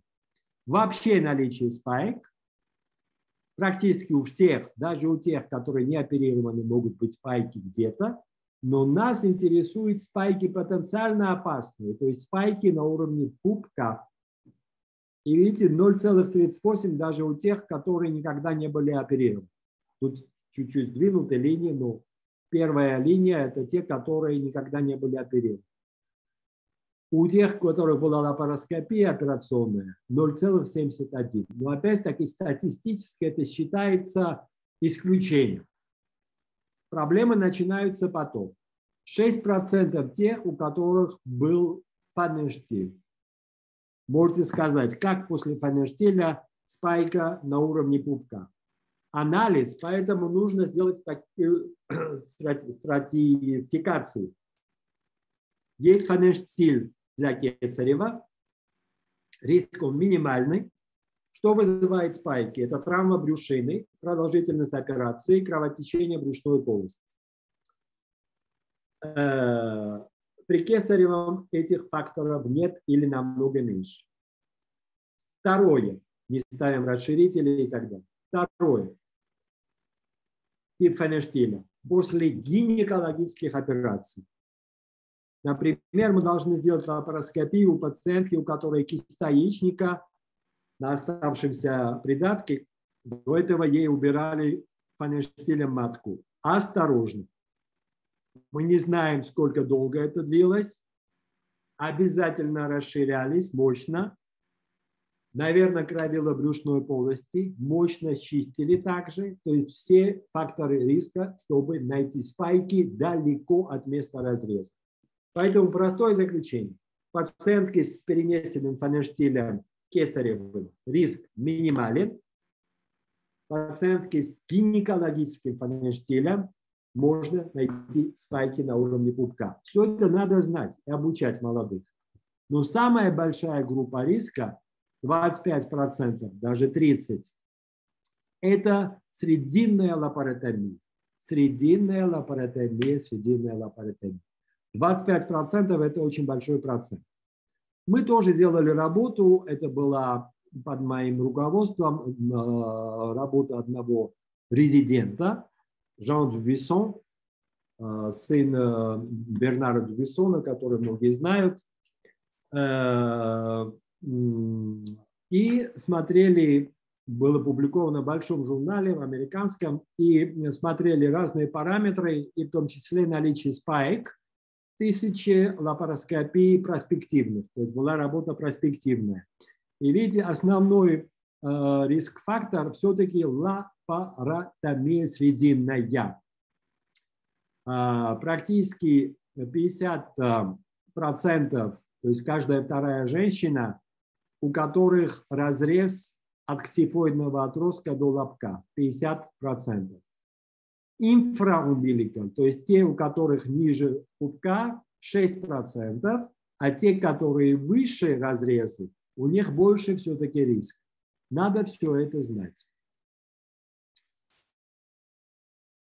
Опять-таки мы учимся, к сожалению, иногда на своих собственных ошибках. И много моих видео и снимков. Это я сам. Было давно. Я пошел через пупок тракаром, у пациентки был разрез срединно-лапаротомический.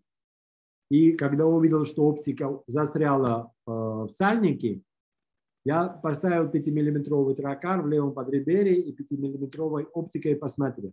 Кстати, это и надо делать, если у вас есть подозрение на что-то, даже если все вы правильно сделали, что-то не так в пупке, в этом проблема. У нас э, видение тоннельное, мы не знаем, что вокруг происходит. Да? Поэтому как только сомнение, надо взять 5-миллиметровую оптику и посмотреть через 5-миллиметровый тракар на расстоянии. Поэтому у вас должны быть две оптики, 10-миллиметровая и 5-миллиметровая.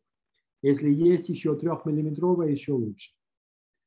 И что может еще произойти? Это не наше видео, это от одного нашего коллеги давно. Это называется транспупочная интестиноскопия.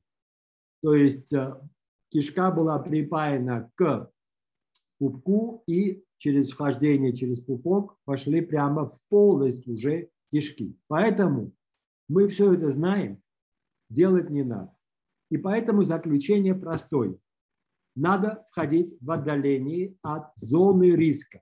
По-моему, простое послание. Зона риска считается разрез среди на лапаротомический и фанестиль гинекологический. Потом, если мы посмотрим учебники, все-таки это и есть основная группа разрезов, да, гинекологии. Сейчас намного меньше и меньше пациентов, у которых желчный пузырь делается еще таким образом.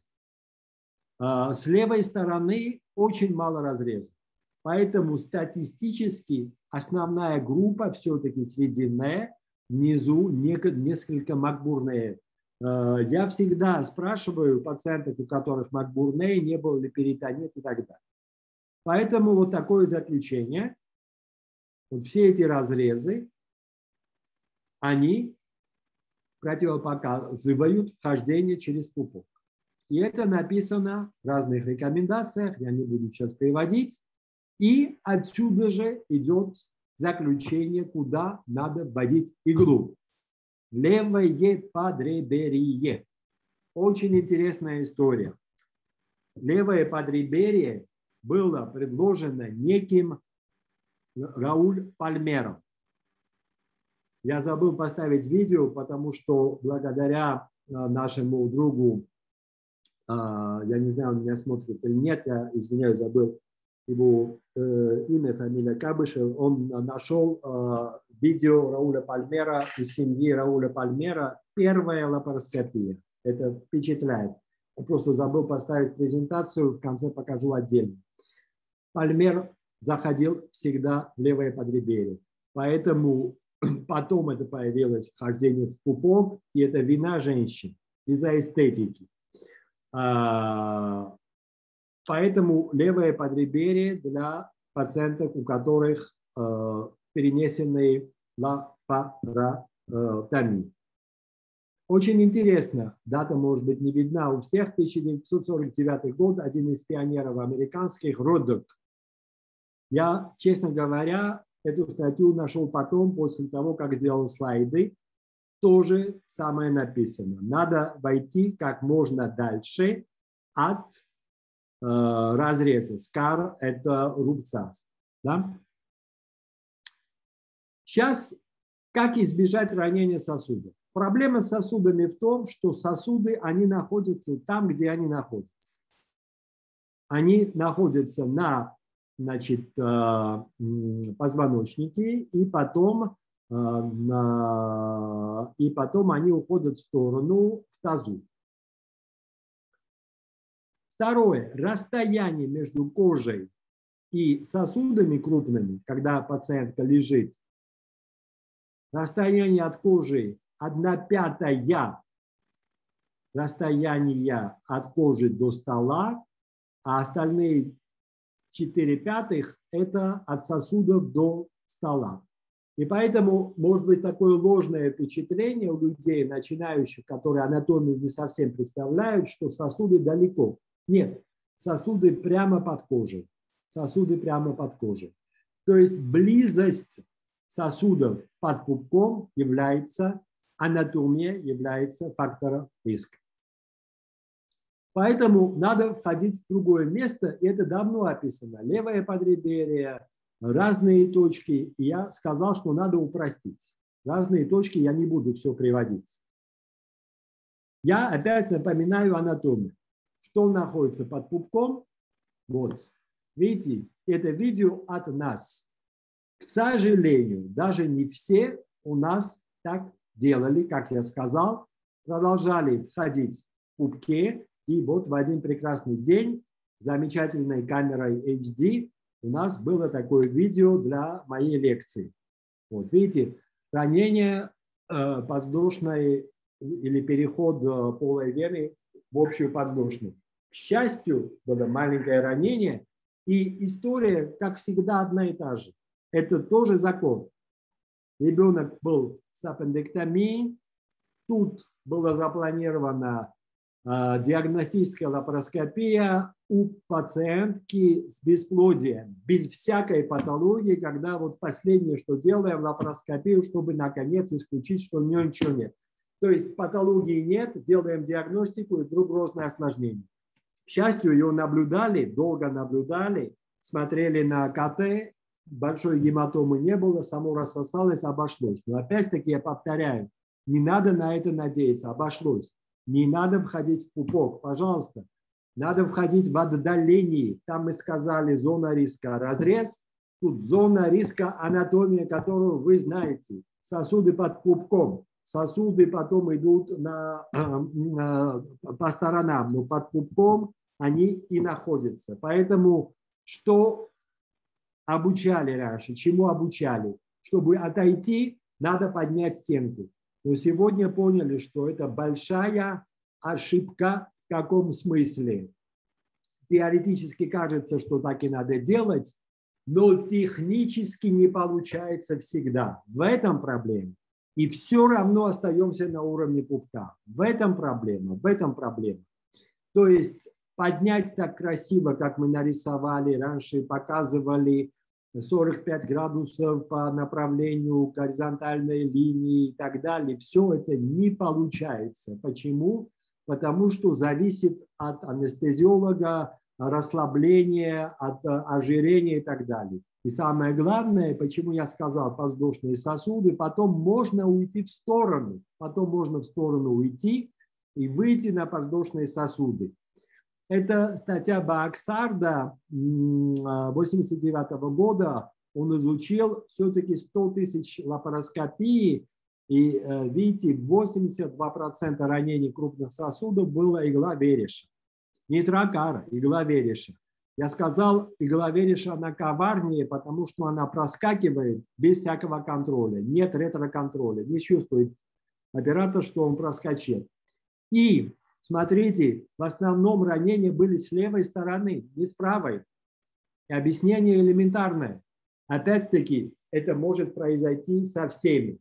Но все-таки статистический человек, который учился, понимал и знает, откуда риск, он так бы не сделал. Но начинающие, правшие, они иглу проталкивают налево, когда они стоят с левой стороны. Просто посмотрите, возьмите сейчас Э, в руку просто ручку и посмотрите, куда вы будете проталкивать правой рукой. Будете проталкивать в левую сторону. И можно так выйти на воздушный сосуд. Поэтому даже первое, то, что мы раньше говорили, до того, как отошли от пупка, если входите через пупок, в любом случае надо всегда сагитально. Ни в коем случае в сторону не уходить. Слева интуитивно риск, справа тоже можно уйти. То есть в любом случае сагитально, чтобы пройти перед бифуркацией. Это касается уже тракара, потому что тракар в любом случае мы вводим через пупок. И при введении тракара у нас уже больше расстояние, маленькая деталь, тракар мы чувствуем. Тракар чувствуем, надо это понять, пожалуйста, для тех, которые начинают, что игла намного опаснее, чем тракар. Тракар кажется опасным, потому что он такой широкий, большой, диаметр и так далее. Нет, игла опасная. Статистика об этом говорит. 82% это игла. Но в любом случае поднятие вот стенки зависит от анестезиолога, индекса массы тела. тела. Иногда нам кажется, что поднимаем, но есть ситуации больше и больше, когда мы не можем поднять. мы поднимаем дерму, а пупок остается лежать на сосудах. Поэтому от этого и отошли. И во всех вот рекомендациях написано, проходить через пупок иглой нельзя в 21 веке. Зависит от того, какой биорелаксант дан, как, э, какой анестезиолог даже и так далее. Поэтому есть работа, где все это измерено и так далее. Пупок остается красной опасной зоной для пупка и для воздушных сосудов. Выход опять в левом подреберье, в левом подреберье, в левом подреберье. То есть вначале мы сказали левое подреберье из-за кишки, сейчас левое подреберье из-за сосудов, потому что в левом подреберье крупных сосудов нет. Есть опять исключение, о чем я поговорю. Поэтому сейчас все говорят, пожалуйста, неправильно сделан выбор пупка. Пожалуйста, поменяйте направление. Через пупок нельзя входить. Поэтому то, что было вторым, сейчас стало единственным. Иглу нужно вводить только в левое подреберье. Иногда в правое я покажу. И вводить только вертикально. Потому что потенциально риск сосудов всегда есть и будет в пупке. В левом подреберье риска сосудов потенциального нет. Конечно, там есть кишка и особенно, что желудок. Об этом я в деталях поговорю, потому что сам входил в желудок. В левом подреберье нет гипогастральных сосудов, таких нижний гипогастральный сосуд, который дает кровотечение от э, введения рабочих тракаров. Тут таких сосудов нет, они находятся, есть верхние гипогастральные, но они ближе к средней линии. Вот, вот это, я не знаю, везение, наверное, у этой пациентки. Я точно знаю, что операции не было. Я вошел в левое подреберье и тракаром также, и сразу увидел одну единственную спайку сальника, но у него никаких операций нет. Вы вспомните поэтому данные ОДБР, поэтому надо знать литературу. Для меня это не было каким-то открытием. В статье ОДБР есть несколько пациентов, никогда не оперированных, но у них э, тоже могут быть спайки где-то. Интеллектуально мы знаем, есть разные воспалительные заболевания кишечника, сигмоидит и так далее, которые тоже могут давать такие спайки. Но это, правда, исключение. Вот что может произойти при введении иглы в левое подреберье. Поэтому мы всегда смотрим ободочную кишку. Иногда можно раздуть э, большой сальник. Остальное я покажу, более такое грубое. В любом случае заключение. Если вы хотите избежать всех осложнений от иглы, нужно систематически входить в левое подреберье. Это я говорю уже несколько лет, и это написано во многих, во многих, во многих рекомендациях. Сейчас посмотрим, и насчет пупка я говорил. Пупок – это из-за женщин, потому что эстетически выгоднее входить в пупок, чем левое подреберье. И я это не просто так говорю. Мы несколько раз, э, несколько лет тому назад делали интересную работу насчет трехмиллиметрового инструментария Шторца. Мы опубликовали, кстати, э, делали гистерэктомию в одной группе трехмиллиметровыми инструментами. Э, есть Роби замечательный, но он очень хрупкий, трехмиллиметровый. Второй делали стандартную гистерэктомию и должны были найти какую-то разницу, да, и поэтому очень детально изучили вопрос эстетики. И есть много работ насчет разрезов и видения, эстетического видения пациентов и пациентов, не только женщин. Но оказалось, что женщины хуже видят все-таки все те разрезы, которые находятся выше пупка. В этом проблема. Все те разрезы, которые выше пупка, даже такого же размера, как ниже пупка, они воспринимаются во всех вопросниках воспринимается намного хуже.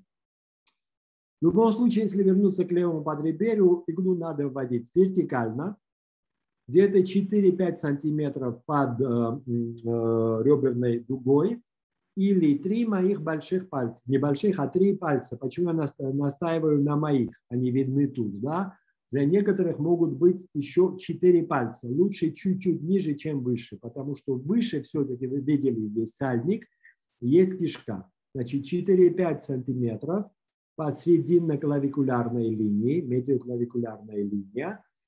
Если медиоклавикулярную Э, не, не так легко увидеть, сразу представить пациентка покрытая и так далее, это где-то передняя спина iliac anterior superior, внутри то же самое 4-5 сантиметров или 3 пальца, вводим вертикаль и вот на этом месте. Это и есть точка Пальмер. Пальмер никогда не водил иглу в пупок. Но, как всегда, есть правила исключения. И профессионализм в знании исключений гепатомегалия. Очень редко бывает, но бывает. И как э, мы не все операции записываем, но было недавно, что у пациентки с левой стороны была огромная доля печени. А, есть, это старая, это не такая большая, как было недавно. Это левая доля. Спленомегалия. Спленомегалия очень важна. Есть страны в Африке, в других местах, где большое распространение малярии.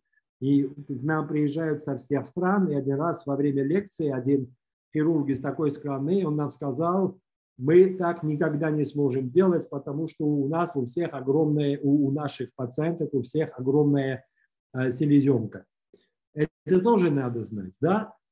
Следующее, растяжение э, желудка. Это каждодневное Э, во время интубации э, происходит или до интубации, в основном, когда масочный наркоз дают. Поэтому хирург должен смотреть, как происходит даже наркоз. Он за все отвечает, он в ответе за все. Если будет потом осложнение, скажут, почему не поставили назогастральный зон.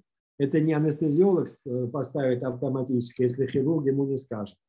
И, конечно, перенесенная хирургия в левом подреберье тоже противопоказания, я это покажу.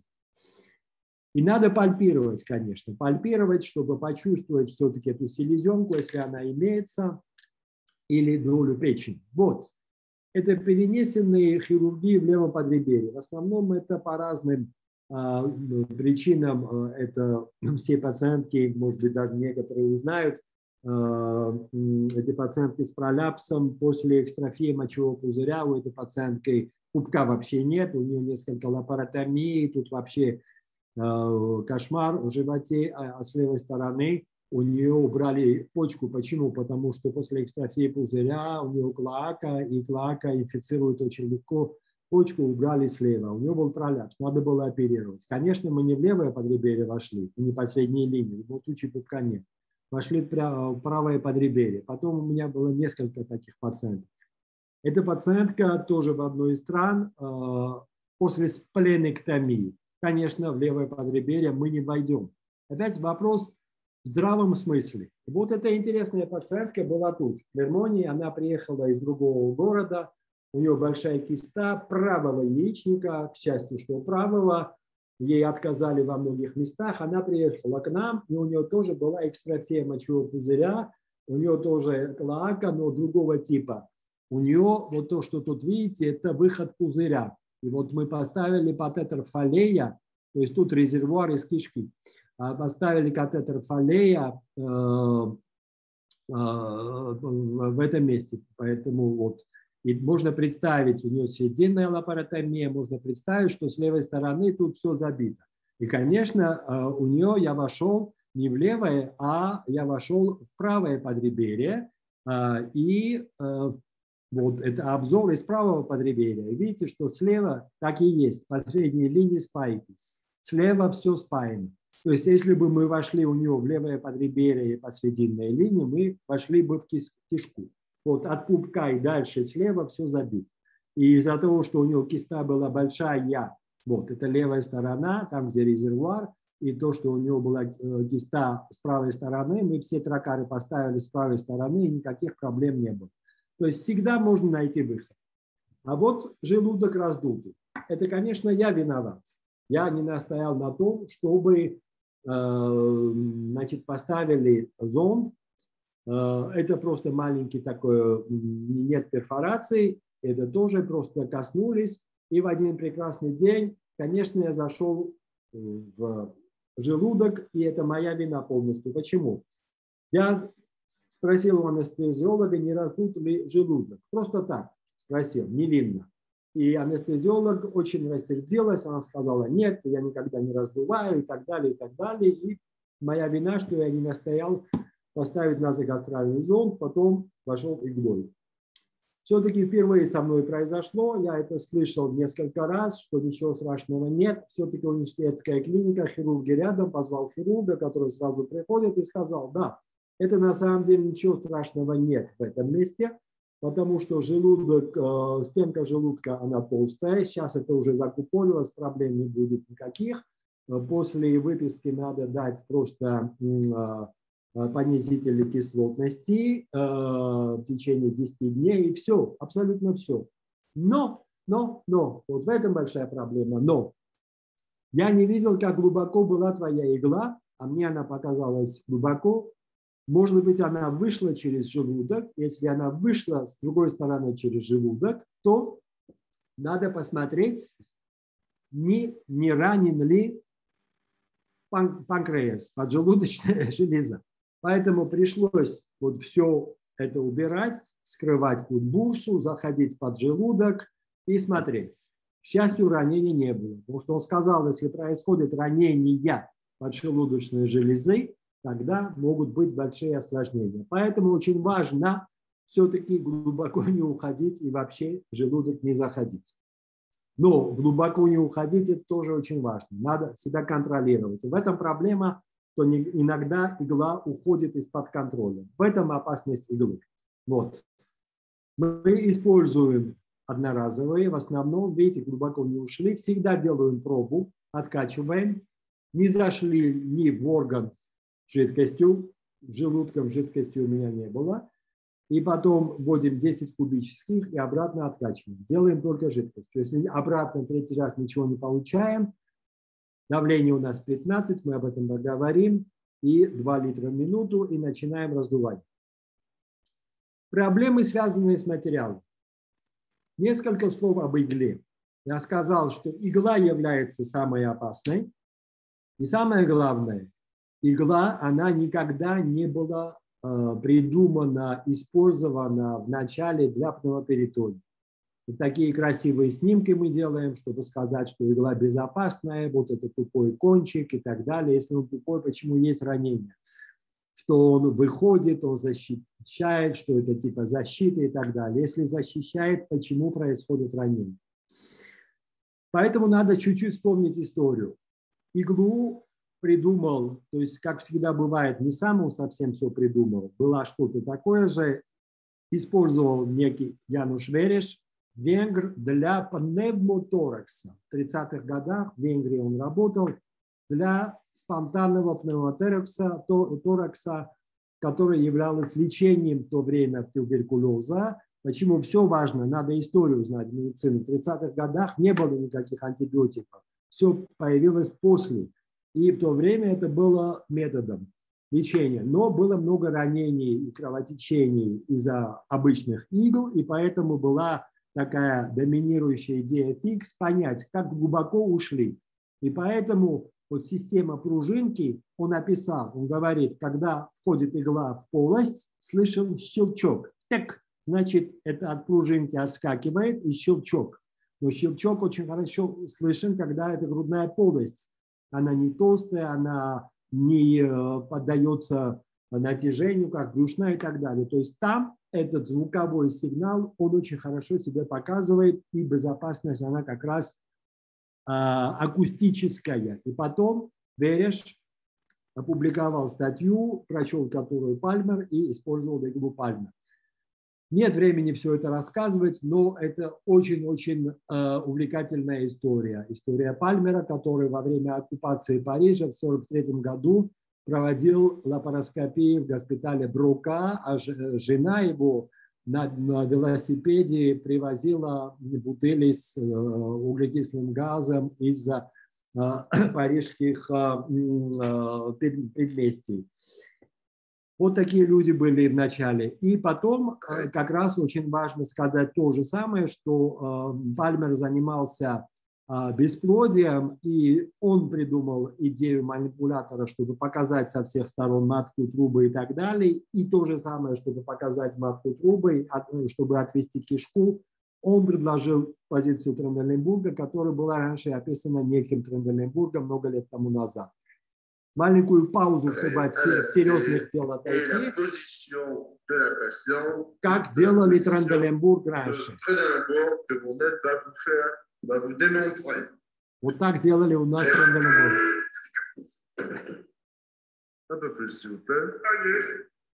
Вот. Даже у нас вот вначале делали так. Или, или есть вторая техника Тренделенбурга, вот такая. Можно вот так. Так, почему я много говорю о Тренделебурге? Потому что переходим к главе ошибки, которые могут также способствовать хождению в сосуде. Это и есть Тренделенбург в начале. Иногда из-за проблем с давлением и так далее анестезиолог просит перевести пациентку в Тренделенбург. Что происходит в Тренделенбурге? В Тренделенбурге пупок сдвигается краниально, лордоз увеличивается, сосуды, которые припаяны к позвоночнику, они э, к столбу, позвоночному столбу, поднимаются ближе к брюшной стенке, пупок поднимается выше, то есть создаются опасные условия для вхождения в сосуд. Поэтому риск-фактор – это Тренделенбург до вхождения в пупок всегда надо выводить из Тренделенбурга. Всегда, иногда это забывают. И опять могу привести примеры, когда это стало основной причиной вхождения в сосуды пациентка в Тренделенбурге во время вхождения. И последнее. Попытки. Сколько раз надо пытаться входить через одну точку. В то время работа была сделана по поводу э, пупка. Чем больше попыток, тем больше возрастает риск осложнений. И поэтому только три попытки. Только три попытки. Если с трех попыток невозможно войти в одной точке, значит в чем-то проблема. Или проблема в пациентке, или проблема в хирурге. Вот это одна работа, которая подытожила литературу. N – это количество попыток, справа осложнения. Видите, когда больше трех попыток осложнений, до 100% доходит процент осложнений. И маленькая деталь. Разрез только горизонтально в кубке. Только горизонтально, чтобы не пройти насквозь скальпелем. Вы можете сказать, что он такой говорит. Я всегда так режу. Я извиняюсь, но это описано и написано, и в цифрах описано 10% ранения в лапароскопии. Это не, не тракар, не игла, а это прямой скальпель. Скальпель. Вот скальпелем ранение скальпелем, прямо скальпелем, до иглы, до трока. Почему? Потому что пупок можно пройти очень легко. Пупок очень тонкое место, даже у пациенток с ожирением.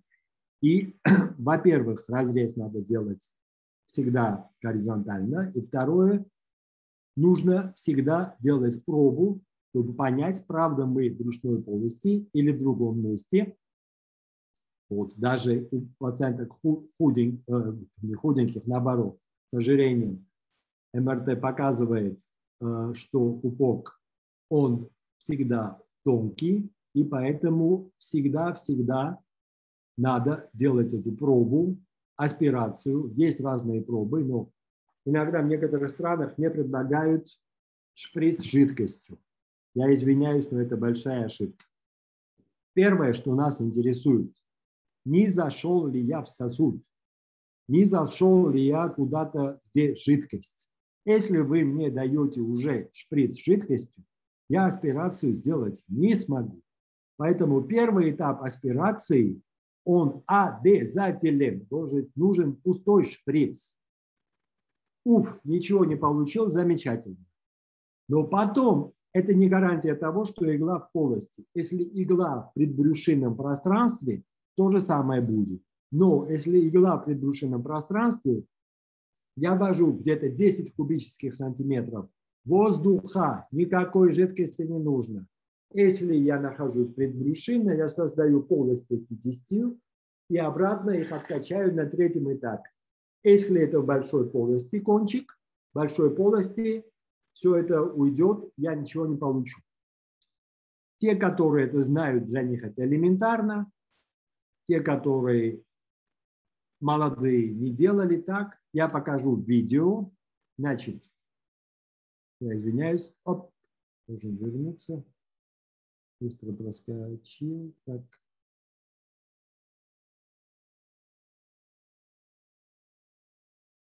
Это еще видео с той поры, как э, в пупок мы входили.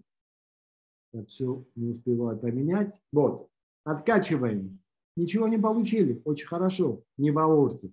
Но, смотрите, ввожу 10 кубических и стараюсь опять откачать. Видите, и обратно получил. Значит, я не в полости, я в стенке.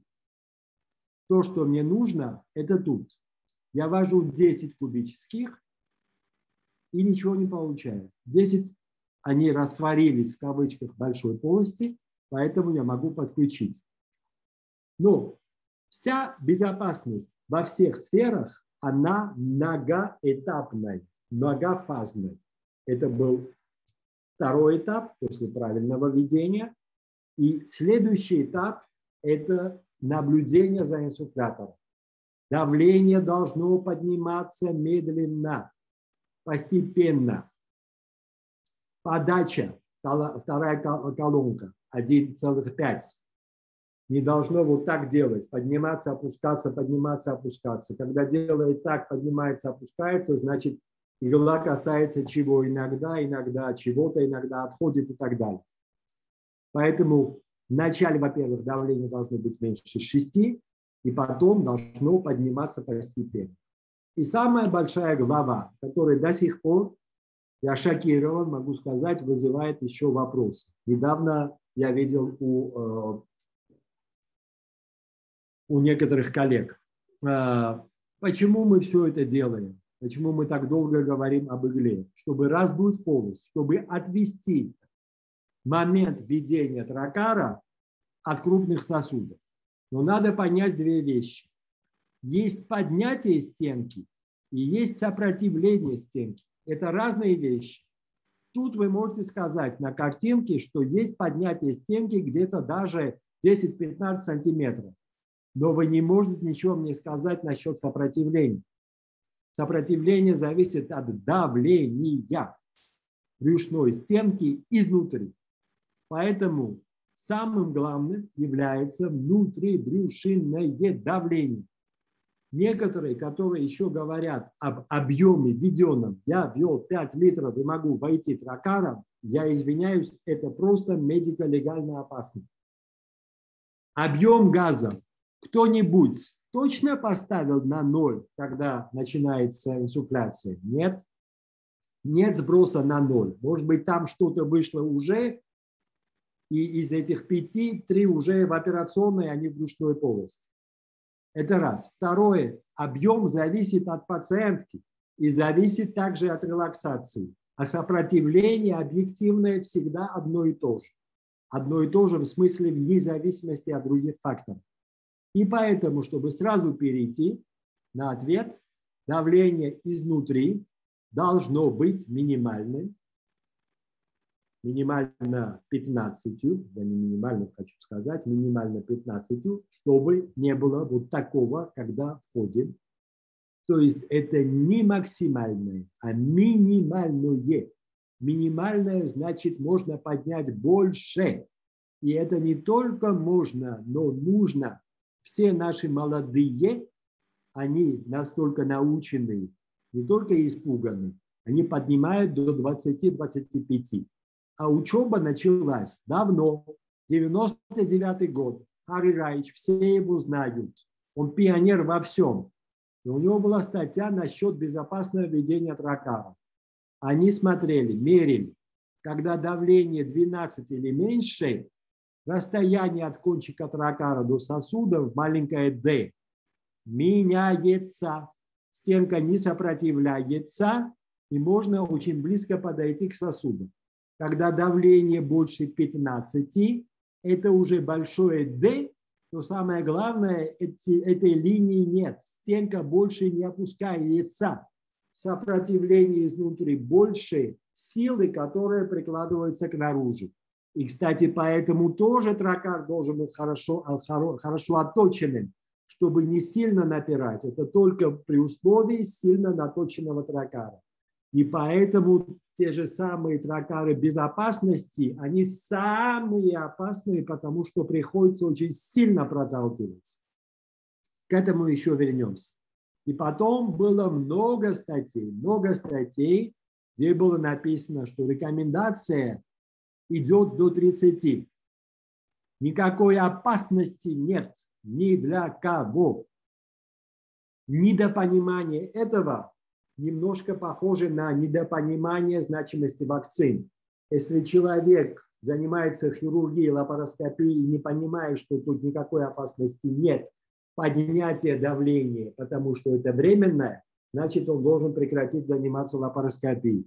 Я извиняюсь, но недавно у меня была такая дискуссия с одним участником наших курсов, который сказал, что он всегда так делал, не будет поднимать до 15 и больше, потому что это опасно.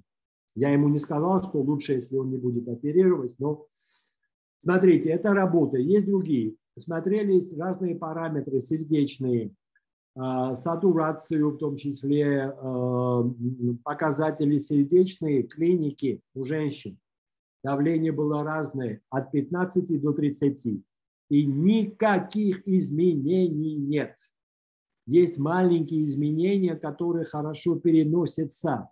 Но ключевое слово – это не рабочее давление, это давление для ведения тракара в безопасном месте и безопасно. И все. И это длится 2-3, максимум минут. И по, поэтому все взаимосвязано. Поэтому я вначале говорил насчет команды. Команда должна четко это понимать. У нас всегда стоит сестра рядом. Велит рака, она спрашивает, потому что давление всегда от 15 до 20, 25, 30. Потом она всегда спрашивает, насколько я уменьшаю. Не то, что я уменьшаю, насколько. Почему? Потому что у нас идут постоянно вот работы, я вам говорил, иногда это 10, иногда 8, иногда 6. Я говорю, начинаем с 10, потом я еще уменьшаю по ходу. Если я смотрю, что могу работать на 6, я практически сейчас работаю на шести. Почему? Потому что мы науку делаем не просто для науки. Однозначно для пациенток лучше. Однозначно для пациенток в возрасте лучше.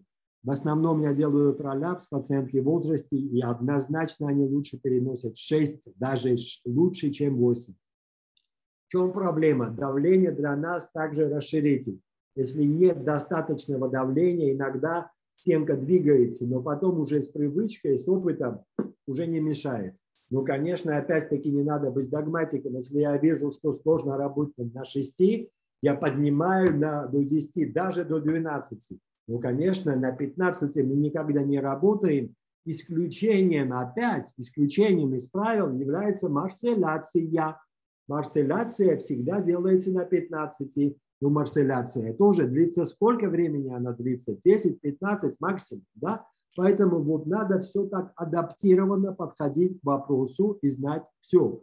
Я нашел одну статью 73 года, они использовали 30, 25 еще в то время. И на старых инсуфляторах есть еще 25-30 как допустимая зона. Почему это опасно? Потому что опасно для анестезиолога, в кавычках, потому что опять вопрос жгута. Сосуды пережимаются, и кровь не поднимается от нижней конечности к сердцу, и падает сердечный выброс. Сердечный выброс падает. Изменения начинаются после 12. В этом проблема. Поэтому, конечно, даже больше 12 работать нельзя, не надо. Некоторые могут сказать, есть такая безгазовая лапароскопия, газлес, это наши фотки, мы пробовали, но я специально эти фотки показываю. Во-первых, это был тупик, некоторые еще продолжают, а, потому что неравномерно стенка поднимается, в одном месте она растягивается, в других нет, и потом у пациенток были синяки и боли в этих местах. Зачем? Мы убираем боль в одном месте, в другом повышаем. Зачем? Никакой выгоды хирургической нет, потому что нет такого равномерного раздутия брюшной полости. Можно подытожить. До введения тракара 15 и больше, а во время работы давление должно быть от 8 до 10. Если есть опыт, можно работать на 6. И, конечно, нужны аппараты, это очень важно, которые правильно показывают. Вы знаете, это касается всех аппаратов. Иногда показатели, они могут быть э, неправильными. А когда дело касается безопасности, это может стать медико-легальным. Поэтому надо их постоянно проверять. И маленькую деталь я добавил. Эти фильтры у нас они одноразовые, потому что эти фильтры, они увлажняются, и из-за этого иногда они могут менять параметры того, что видно тут. И, конечно, сейчас у нас новое поколение, уже второй год вот этих новых инсуфляторов, я прямо в операционной э, сделал эту фотку, у нас вот в начале стоит так, 15, 2 для иглы, 2 для иглы, и тоже не исключение, иногда поднимаем до 20, до 25, когда нам кажется, что стенка недостаточно поднимается. И то, что я говорил, давление должно подниматься постепенно, а подача должна падать постепенно. И надо пальцем постоянно контролировать. Аппарату доверяй, но сам проверяй. И это очень важно, потому что э, пальцы, вы так учитесь, даже я иногда тестирую своих ассистентов, говорю им, положите палец и скажите, какое давление. Потому что когда ты это делаешь постоянно, даже пальцем можно сказать, правда ли там 15 на аппарате или нет. Потому что бывали случаи, когда аппарат неправильно показывает.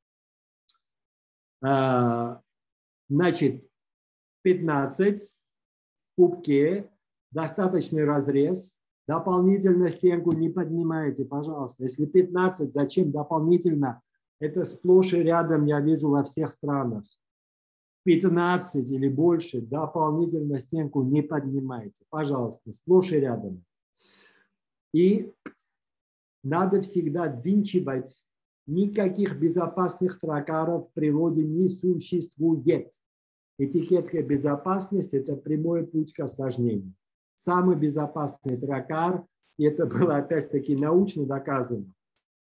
В чем вопрос?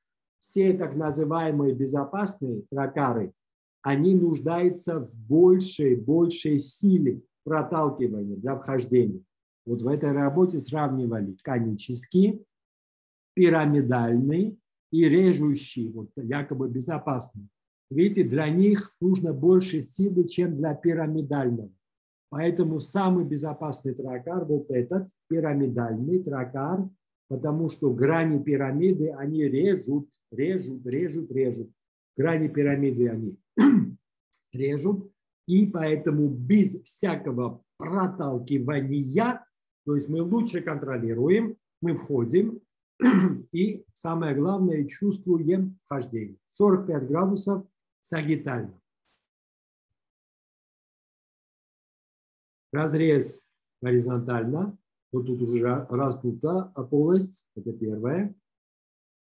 Мы делаем всегда инфильтрацию. Видите, игла стоит э, в левом подреберье. Я нажимаю, почему руку еще, чтобы больше давления было впереди. И все.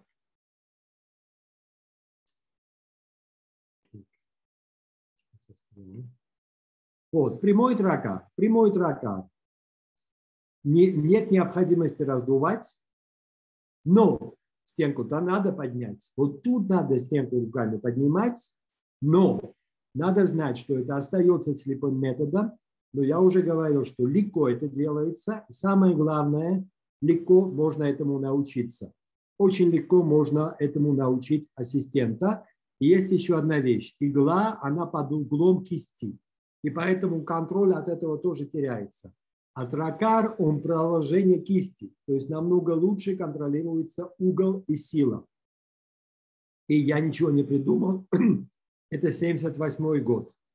Но опять-таки противопоказания. Лапаротомия перенесенная. Пациентка с ожирением невозможно поднять. Невозможно поднять иногда из-за того, что пациентка не с ожирением, но нет релаксации. Это тоже проблема. Поэтому хорошая релаксация является условием синекванон. И поэтому иногда сестра спрашивает, а, сегодня берем иглу или нет? Я говорю, подождите, пусть пациентка заснет, потом я проверю и вам скажу. То, что она не оперирована, мы знаем. То, что она с ожирением, мы не знаем. Но как, какая релаксация, я всегда проверяю. Цифры я не буду приводить, Цифры все говорят о том, что эта техника безопасная. Я просто покажу, как это делать, как поднимать. И маленькая деталь, когда мы чувствуем, что входим, надо чуть-чуть еще руку опустить, чтобы она стала горизонтальной.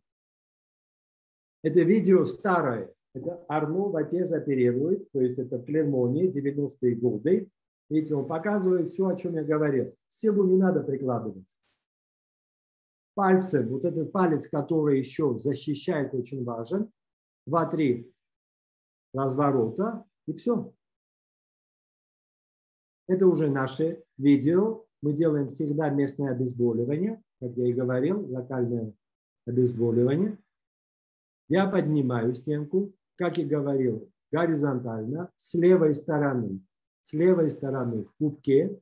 Я всегда проверяю, достаточен или нет разрез, видите, калибрую, можно сказать, беру тракар, который не проталкиваю, я чуть-чуть ввожу в разрез, он слева, поэтому я чуть слева вошел.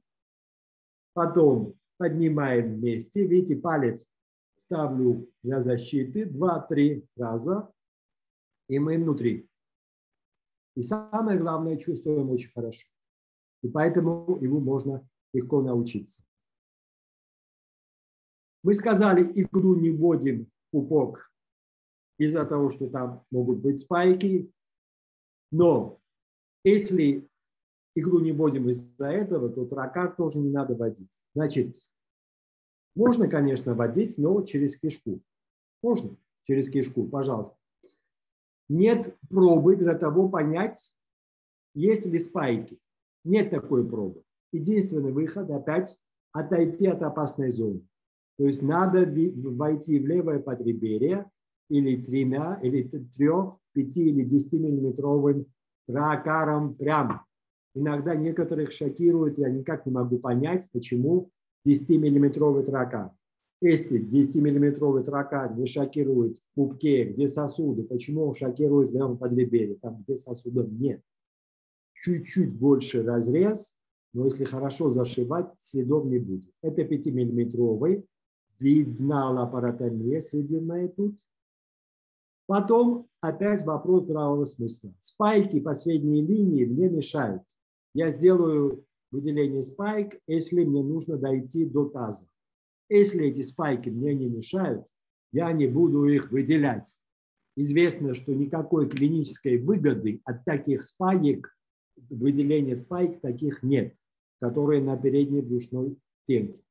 Еще показываю видео, прислали с другого континента. Очень интересное видео, оно большое. Почему я настаиваю, что большое? Они сделали гистерэктомию и, уходя из брюшной полости, увидели, что всю операцию они сделали насквозь вот так через кишку. Это в конце операции они.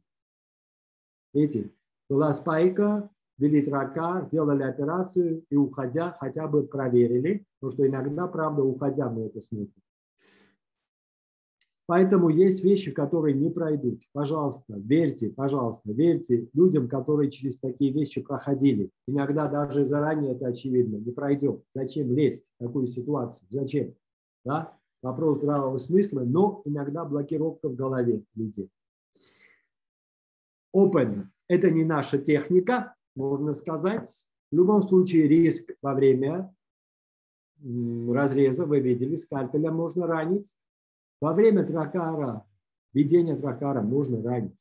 Как? Я не знаю, но описано. Я не делаю, поэтому не могу сказать, но описано. Эмфизема, потому что мы делаем кисет не очень глубоко, и идет эмфизема подбрюшина, и вторично описанные э, и фистулы. Интересная вещь. Не увидели кишку, которая была припаяна, и потом образуется свич на этом месте. В любом случае, да, что я тут показал. Единственное, мы делаем и делали, сейчас эта мода спала практически, я не знаю, кто еще продолжает это делать, монопорт. А монопорт для монопорта, конечно, так и надо делать, потому что по-другому мы не будем монопорт. Но сейчас уже у нас в клинике монопорт никто не делает. Я был единственным, кто пробовал для адмексектомии и все. Если посмотреть большие данные, есть ранение кишечника при open, э, по сравнению с пневмоперитонием намного больше, но нет ранения сосудов. Кажется, это так и есть, но описаны единичные случаи ранения сосудов. Все-таки понятно, скальпелем или грубым движением. Это просто такой анекдотический случай, большая киста, когда просто невозможно было вести нигде ни иглу, ни а, тракар. И последнее, вот эти так называемые тракары безопасности, которые стоят дорого, одноразовые, и тем более, если вы их много раз используете, это катастрофа, потому что механизм становится грубее и тупее и намного опаснее. В чем проблема? Это щит, который выходит и прикрывает якобы этот кончик, э, когда он проходит через брюшную стенку. И говорят, вот, фантастика. Это опасно, кончик опасен. Когда уже полости там за, за, за, защелкивается ну, то есть он обратно не выйдет, и защита. И то есть вы можете продолжать. Но проблема в чем? Во время прохождения этого кончика в брюшную полость можно вызвать ранение. В этом проблема. И статистика тоже. Статистика – мощная вещь, вы знаете, да? Э, можно все показать статистикой, но тут статистике надо верить. Вот, во всех сериях осложнения в группе этих тракаров защитой. Shield – это буклие, то есть это щит. Reusable – тракары, которые э, не одноразовые, нет осложнений. Наверное, есть, но в этой серии они не попали, это раз. И опять психологический фактор.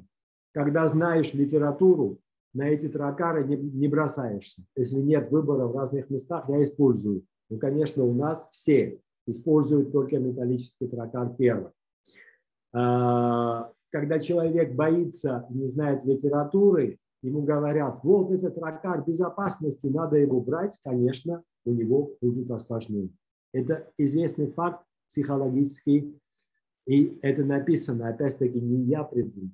Все фатальные случаи, анализ базы данных FDA, все фатальные случаи – это только тракары, такие безопасности или оптические тракары. Одна публикация, вторая публикация, там все 100%, другой 87%.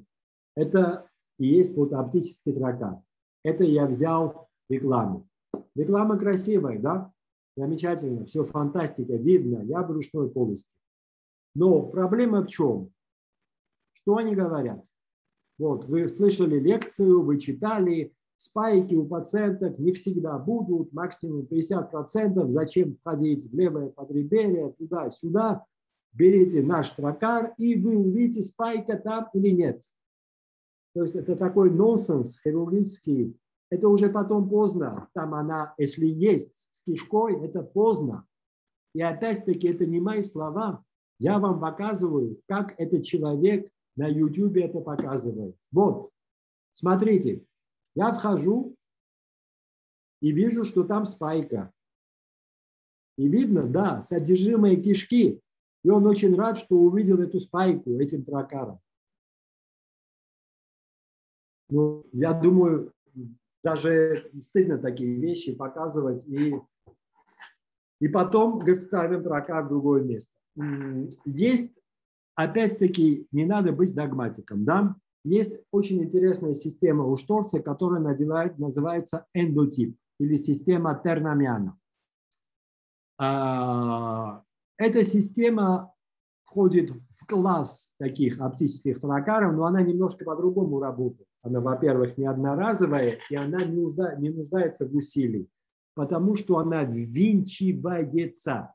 То есть риск намного меньше, ввинчивается. То есть там резьба, она режет и ввинчивается, и можно ее использовать. Она намного безопаснее по сравнению с одноразовыми системами оптическими. И эта работа, она наглядная. Швеция, все-таки Швеция даже введение ковида показало, что она очень продвинутая страна. Да? И смотрите, осложнение, не, то, не только осложнения, прямо ранение аорты во время э, хирургии желудка, хирургии по ожирению, байпас у пациентов с ожирением, то есть сложной лапароскопии ситуации, национальный обзор только за один год, 2009-2010, да? то есть недавно, можно сказать. Анализ показал в течение одного года 5 ранений аорты. И все произошли у тех пациентов, у которых использовался этот тракар оптический, одноразовый. То есть тракар, который был сделан для уменьшения риска, он был как раз он был ответственным за ранение, и написано, что была также смертность э, от э, таких ранений аорты. Поэтому, пожалуйста, забудьте такие вещи. Единственное, на мой взгляд, это тернамян, но надо наловчиться. Поэтому, если подытожить, я скоро закончу. В жизни иногда надо делать выбор, да, и в хирургии тоже. И всегда надо основываться на разных критериях, не только на внешности, потому что мы должны войти слепо. И нет видимости того, что происходит в брюшной полости, но у вас есть голова, у нас, и надо сделать синтез разных элементов. Перенесенные лапаротомии, индекс массы тела. Да, Тамира, что У нас происходит? остается 10 минут, и есть вопросы. Вам еще долго? Я за 5 минут закончу. Значит, 5 э, минут. Спасибо. Я... Э, значит, все это мы сказали, то есть надо сделать синтез. Значит, перенесенная хирургия, ожирение, плохое ослабление, все это есть. Входим только левое подреберье иглой и потом вводим э, тракар, если есть перенесенная хирургия в левое подреберье. Если этого всего нет, я вхожу в пупок не иглой, а я вхожу прямым тракаром. То есть, по-моему, тут я больше ничего не скажу, поэтому, чтобы быстрее пойти, у меня тут были разные ситуации отдельно показаны, еще подытожены. Я забыл, что у нас 5 заканчивается по-нашему. Что я еще хочу просто сказать насчет боковых тракаров. Значит, при перенесенных, после перенесенных лапаротомии никак недопустимо входить через пупок. Вот, да. Вот. Очень часто мы видим, что тут, что просвечивают стенку. Пожалуйста, просвечивание не помогает. Вот эта анимация показывает, это крупные сосуды опасны. Крупные сосуды – это сосуды эпигастрика, нижняя эпигастрика, а, и чтобы обойти их, нужны навыки и знания. Все, это очень просто. Анатомия нам подсказывает. Они находятся в мышцах, они внутри э, фасции апоневроза прямых мышц. А где мы вводим тракары, в том месте их не может быть. Не может быть.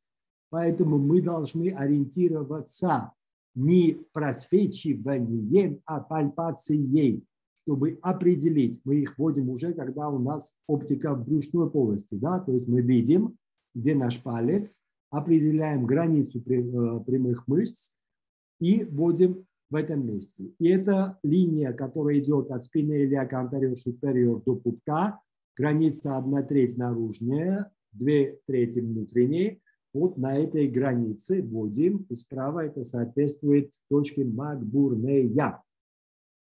Вот, очень быстро я видео покажу, у меня два видео вместе. И так, под прямым углом.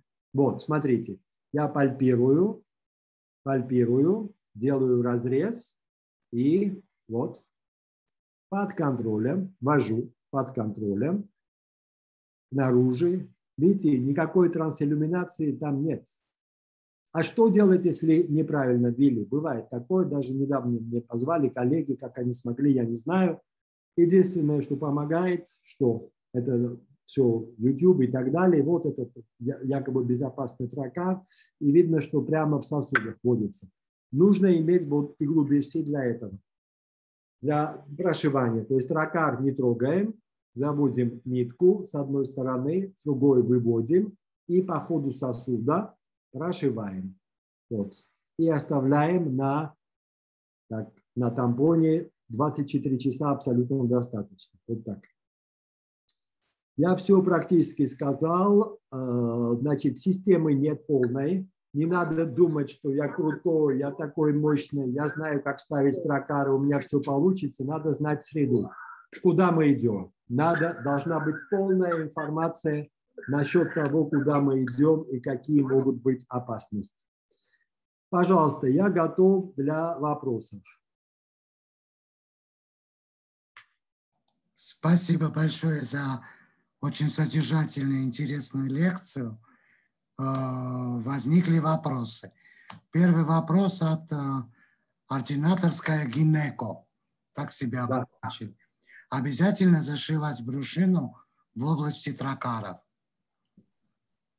Так, э, значит, рабочие тракары 5-миллиметровые, они на уровне перекрещивания апоневрозов обликус, там, где, э, значит, точка Макбурна и так далее. Кстати, из-за этого тоже это интересное место. Там грыжевание очень редко бывает. У нас было одно, по-моему, много лет тому назад. Пупок, чуть-чуть мы под углом входим, там ткани они плотные, если нет, у пациента уже грыжи, там зашивать нет смысла. Но средняя линия, она расширяется, когда мы работаем долго. Я говорю, трака 10-12, которые используем для шитья мы ее то туда растягиваем, то сюда, и эта линия, она расходится. То есть статистически в этом месте намного больше риска грыжевания после использования тракаров 10 и больше. Поэтому это место мы зашиваем систематически, как только использовали тракар 10-12. Это автоматически дело. Не поняла Фанинштиль и место операции по поводу аппендицита показания к вхождению в области левого подреберья. Фанештиль у пациентки была гинекологическая операция. Риск статистически есть того, что будет спайка кишечная на уровне пупка. Намного реже риска, но все-таки есть а, риск. Поэтому а, надо все-таки ходить в левое подреберье. Макбурней, я говорил, я это тоже видел. Макбурней, если пациентка говорит, у нее был простой аппендицит, риск минимален, но пациентку я спрашиваю, не был ли перитонит, не стояли ли дренажи, тогда есть риск того, что могут быть кишечные спайки на уровне пупка. Опять-таки риск минимален, но может быть. Риск минимален после э, фаненштиля гинекологического, например, убирали миому, матку и так далее. После кесарева фаненштиль кишка к пупку не припаивается. Статистика об этом говорит. Следующий вопрос от Антона Бабушкина с Прибалтики. Э, в ИРАС протоколе рекомендуется избегать установки назогастрального зонда. Как вы относитесь к такой рекомендации в свете систематического вхождения в левое Либерии? Абсолютно. ЭРАС сопротивляется установке любого тракту э, зонда, как называется, катетера фоле, дренаж и так далее. Но э, то же самое во время операции мы ставим фолей, у нас есть уже протокол ГАК, мы называем, пациентка уходит и так далее. Во время операции, если фолей не поставить, можно проткнуть пузырь. То же самое, если я считаю, что есть риск ранения желудка, я ставлю назогастральный зонд во время вхождения, потом можно его убрать, когда у нас уже глаза в животе, и мы видим, что никакого ранения желудка нет. Можно его поставить, убрать. Это намного безопаснее, чем э, такая попытка всегда следовать этому протоколу. Опять-таки вопрос от ординаторской гинекологической. Зачем тогда пользоваться иглой? Я так понимаю, верующая.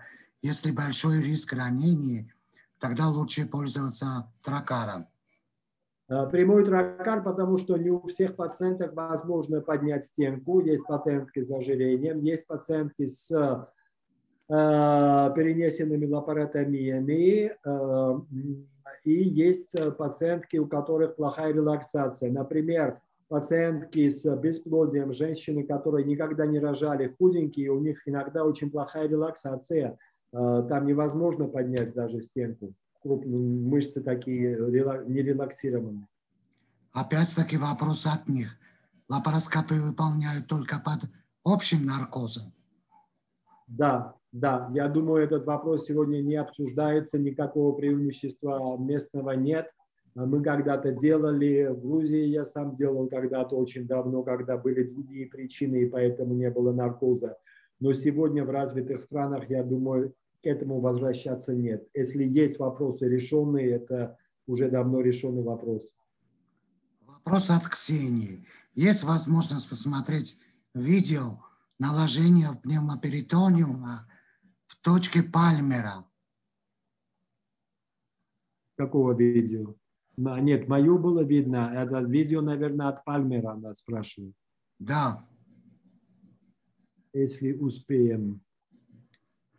Ну, пока задам другое. Максимально какое можно использовать давление? А, значит, при вхождении, я ведь сказал, на современных инсуфляторах а, сегодняшнее давление а, это где-то а, до 30. Больше на сегодняшних не написано. Раньше было больше написано. До 30 поднять, это в статьях написано, никто вам ничего не скажет. Практически у нас а, молодые поднимают до 20-25, и поэтому а, такое возможно. А, что касается рабочего давления, то рабочее давление не должно быть больше 12. Я сам говорю, я работаю в среднем 8-6.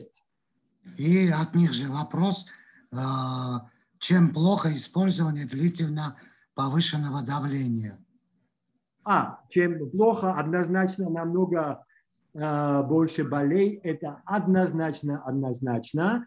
Э, и э, второе, второе больше спаек, э, больше проблем у анестезиолога. Диафрагма не двигается как надо, и более анестезиолог сразу говорит, хороший анестезиолог, что беспокоит. Так, я нашел видео, просто почему у меня исчезло, я не могу поделиться с экраном, Мираб. Не знаю. А, есть, сейчас, сейчас, сейчас, сейчас, сейчас, сейчас, вот. Чем плохо? Вот. Да, можно продолжать вопросы. Да, значит... Э, идет видео? Андрей. Видео идет, Мираб? Идет, но медленно очень. Ну, медленно, это титры. Да, хорошо. Андрей спрашивает. Андрей спрашивает, да. на каком сайте можно читать эти работы, которые вы приводите, и если там а, русскоязычные? Нет, русскоязычных нет. Так, одного сайта нет. Я извиняюсь, я годами набираю эти, э, эти как его, статьи. Э, нет, нет, я извиняюсь. Пусть он мне напишет, я ему могу все послать, я всем посылаю. Э, видите, да, вот конюлю он нарисовал даже, конюлю. 55-й э, год, я вам напоминаю. А, а Самое интересное, сейчас увидите. Э, ага. Вопрос. Смотрите, без, без перчаток, без всего. Мы уже о масках не говорим. Видите, что он вертикально вел игру? С, с перстнем и так далее. Ясно. А, Вопрос из России. Одноразовые фильтры можно использовать несколько раз? Нет. Мираб, почему ты не отвечаешь? Почему я должен на себя принять удар? Я Потому как что- понял, это запись давления. Как я понял, это запись давления, которая раздувает. Вот. Потому что они посчитают, что мне надо продать. Поэтому говорю нет. А то, что это называется одноразовым, это уже подразумевает, что нельзя. В одном месте видно лицо, очень коротко так. Вот, вот, вот и все. Э, Вопрос от э, Федора Беженаря по поводу оптических тракаров был, но вы уже в своем рассказе ответили. Все остальное уже благодарство. Так, спасибо вам. Приблизительно, Ревас Георгиевич, мы на какое время будем э, планировать второй вебинар? Второй, второй будет насчет электрохирургии. Как раз э, э, нужно два часа. Как, как- когда скажете, можно найти э, один четверг, если четверг людей устраивает, вот также один из четвергей, четвергов э, в этом, как его, в сентябре уже можно найти. В сентябре. Хорошо. Мы тогда с вами спишемся и... Да. Большое вам спасибо всем за, Вам большое спасибо. за э, доверие, за терпение.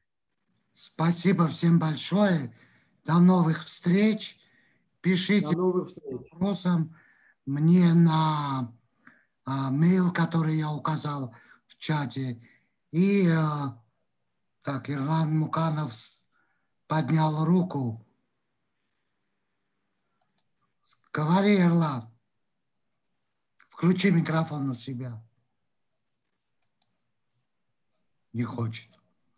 Хорошо. Хорошо. Ладно. Спасибо. Спасибо большое, Мираб. встреч. И, значит, скоро сообщим о следующем вебинаре. Спасибо большое. Хорошо. Свидания. Спасибо тебе.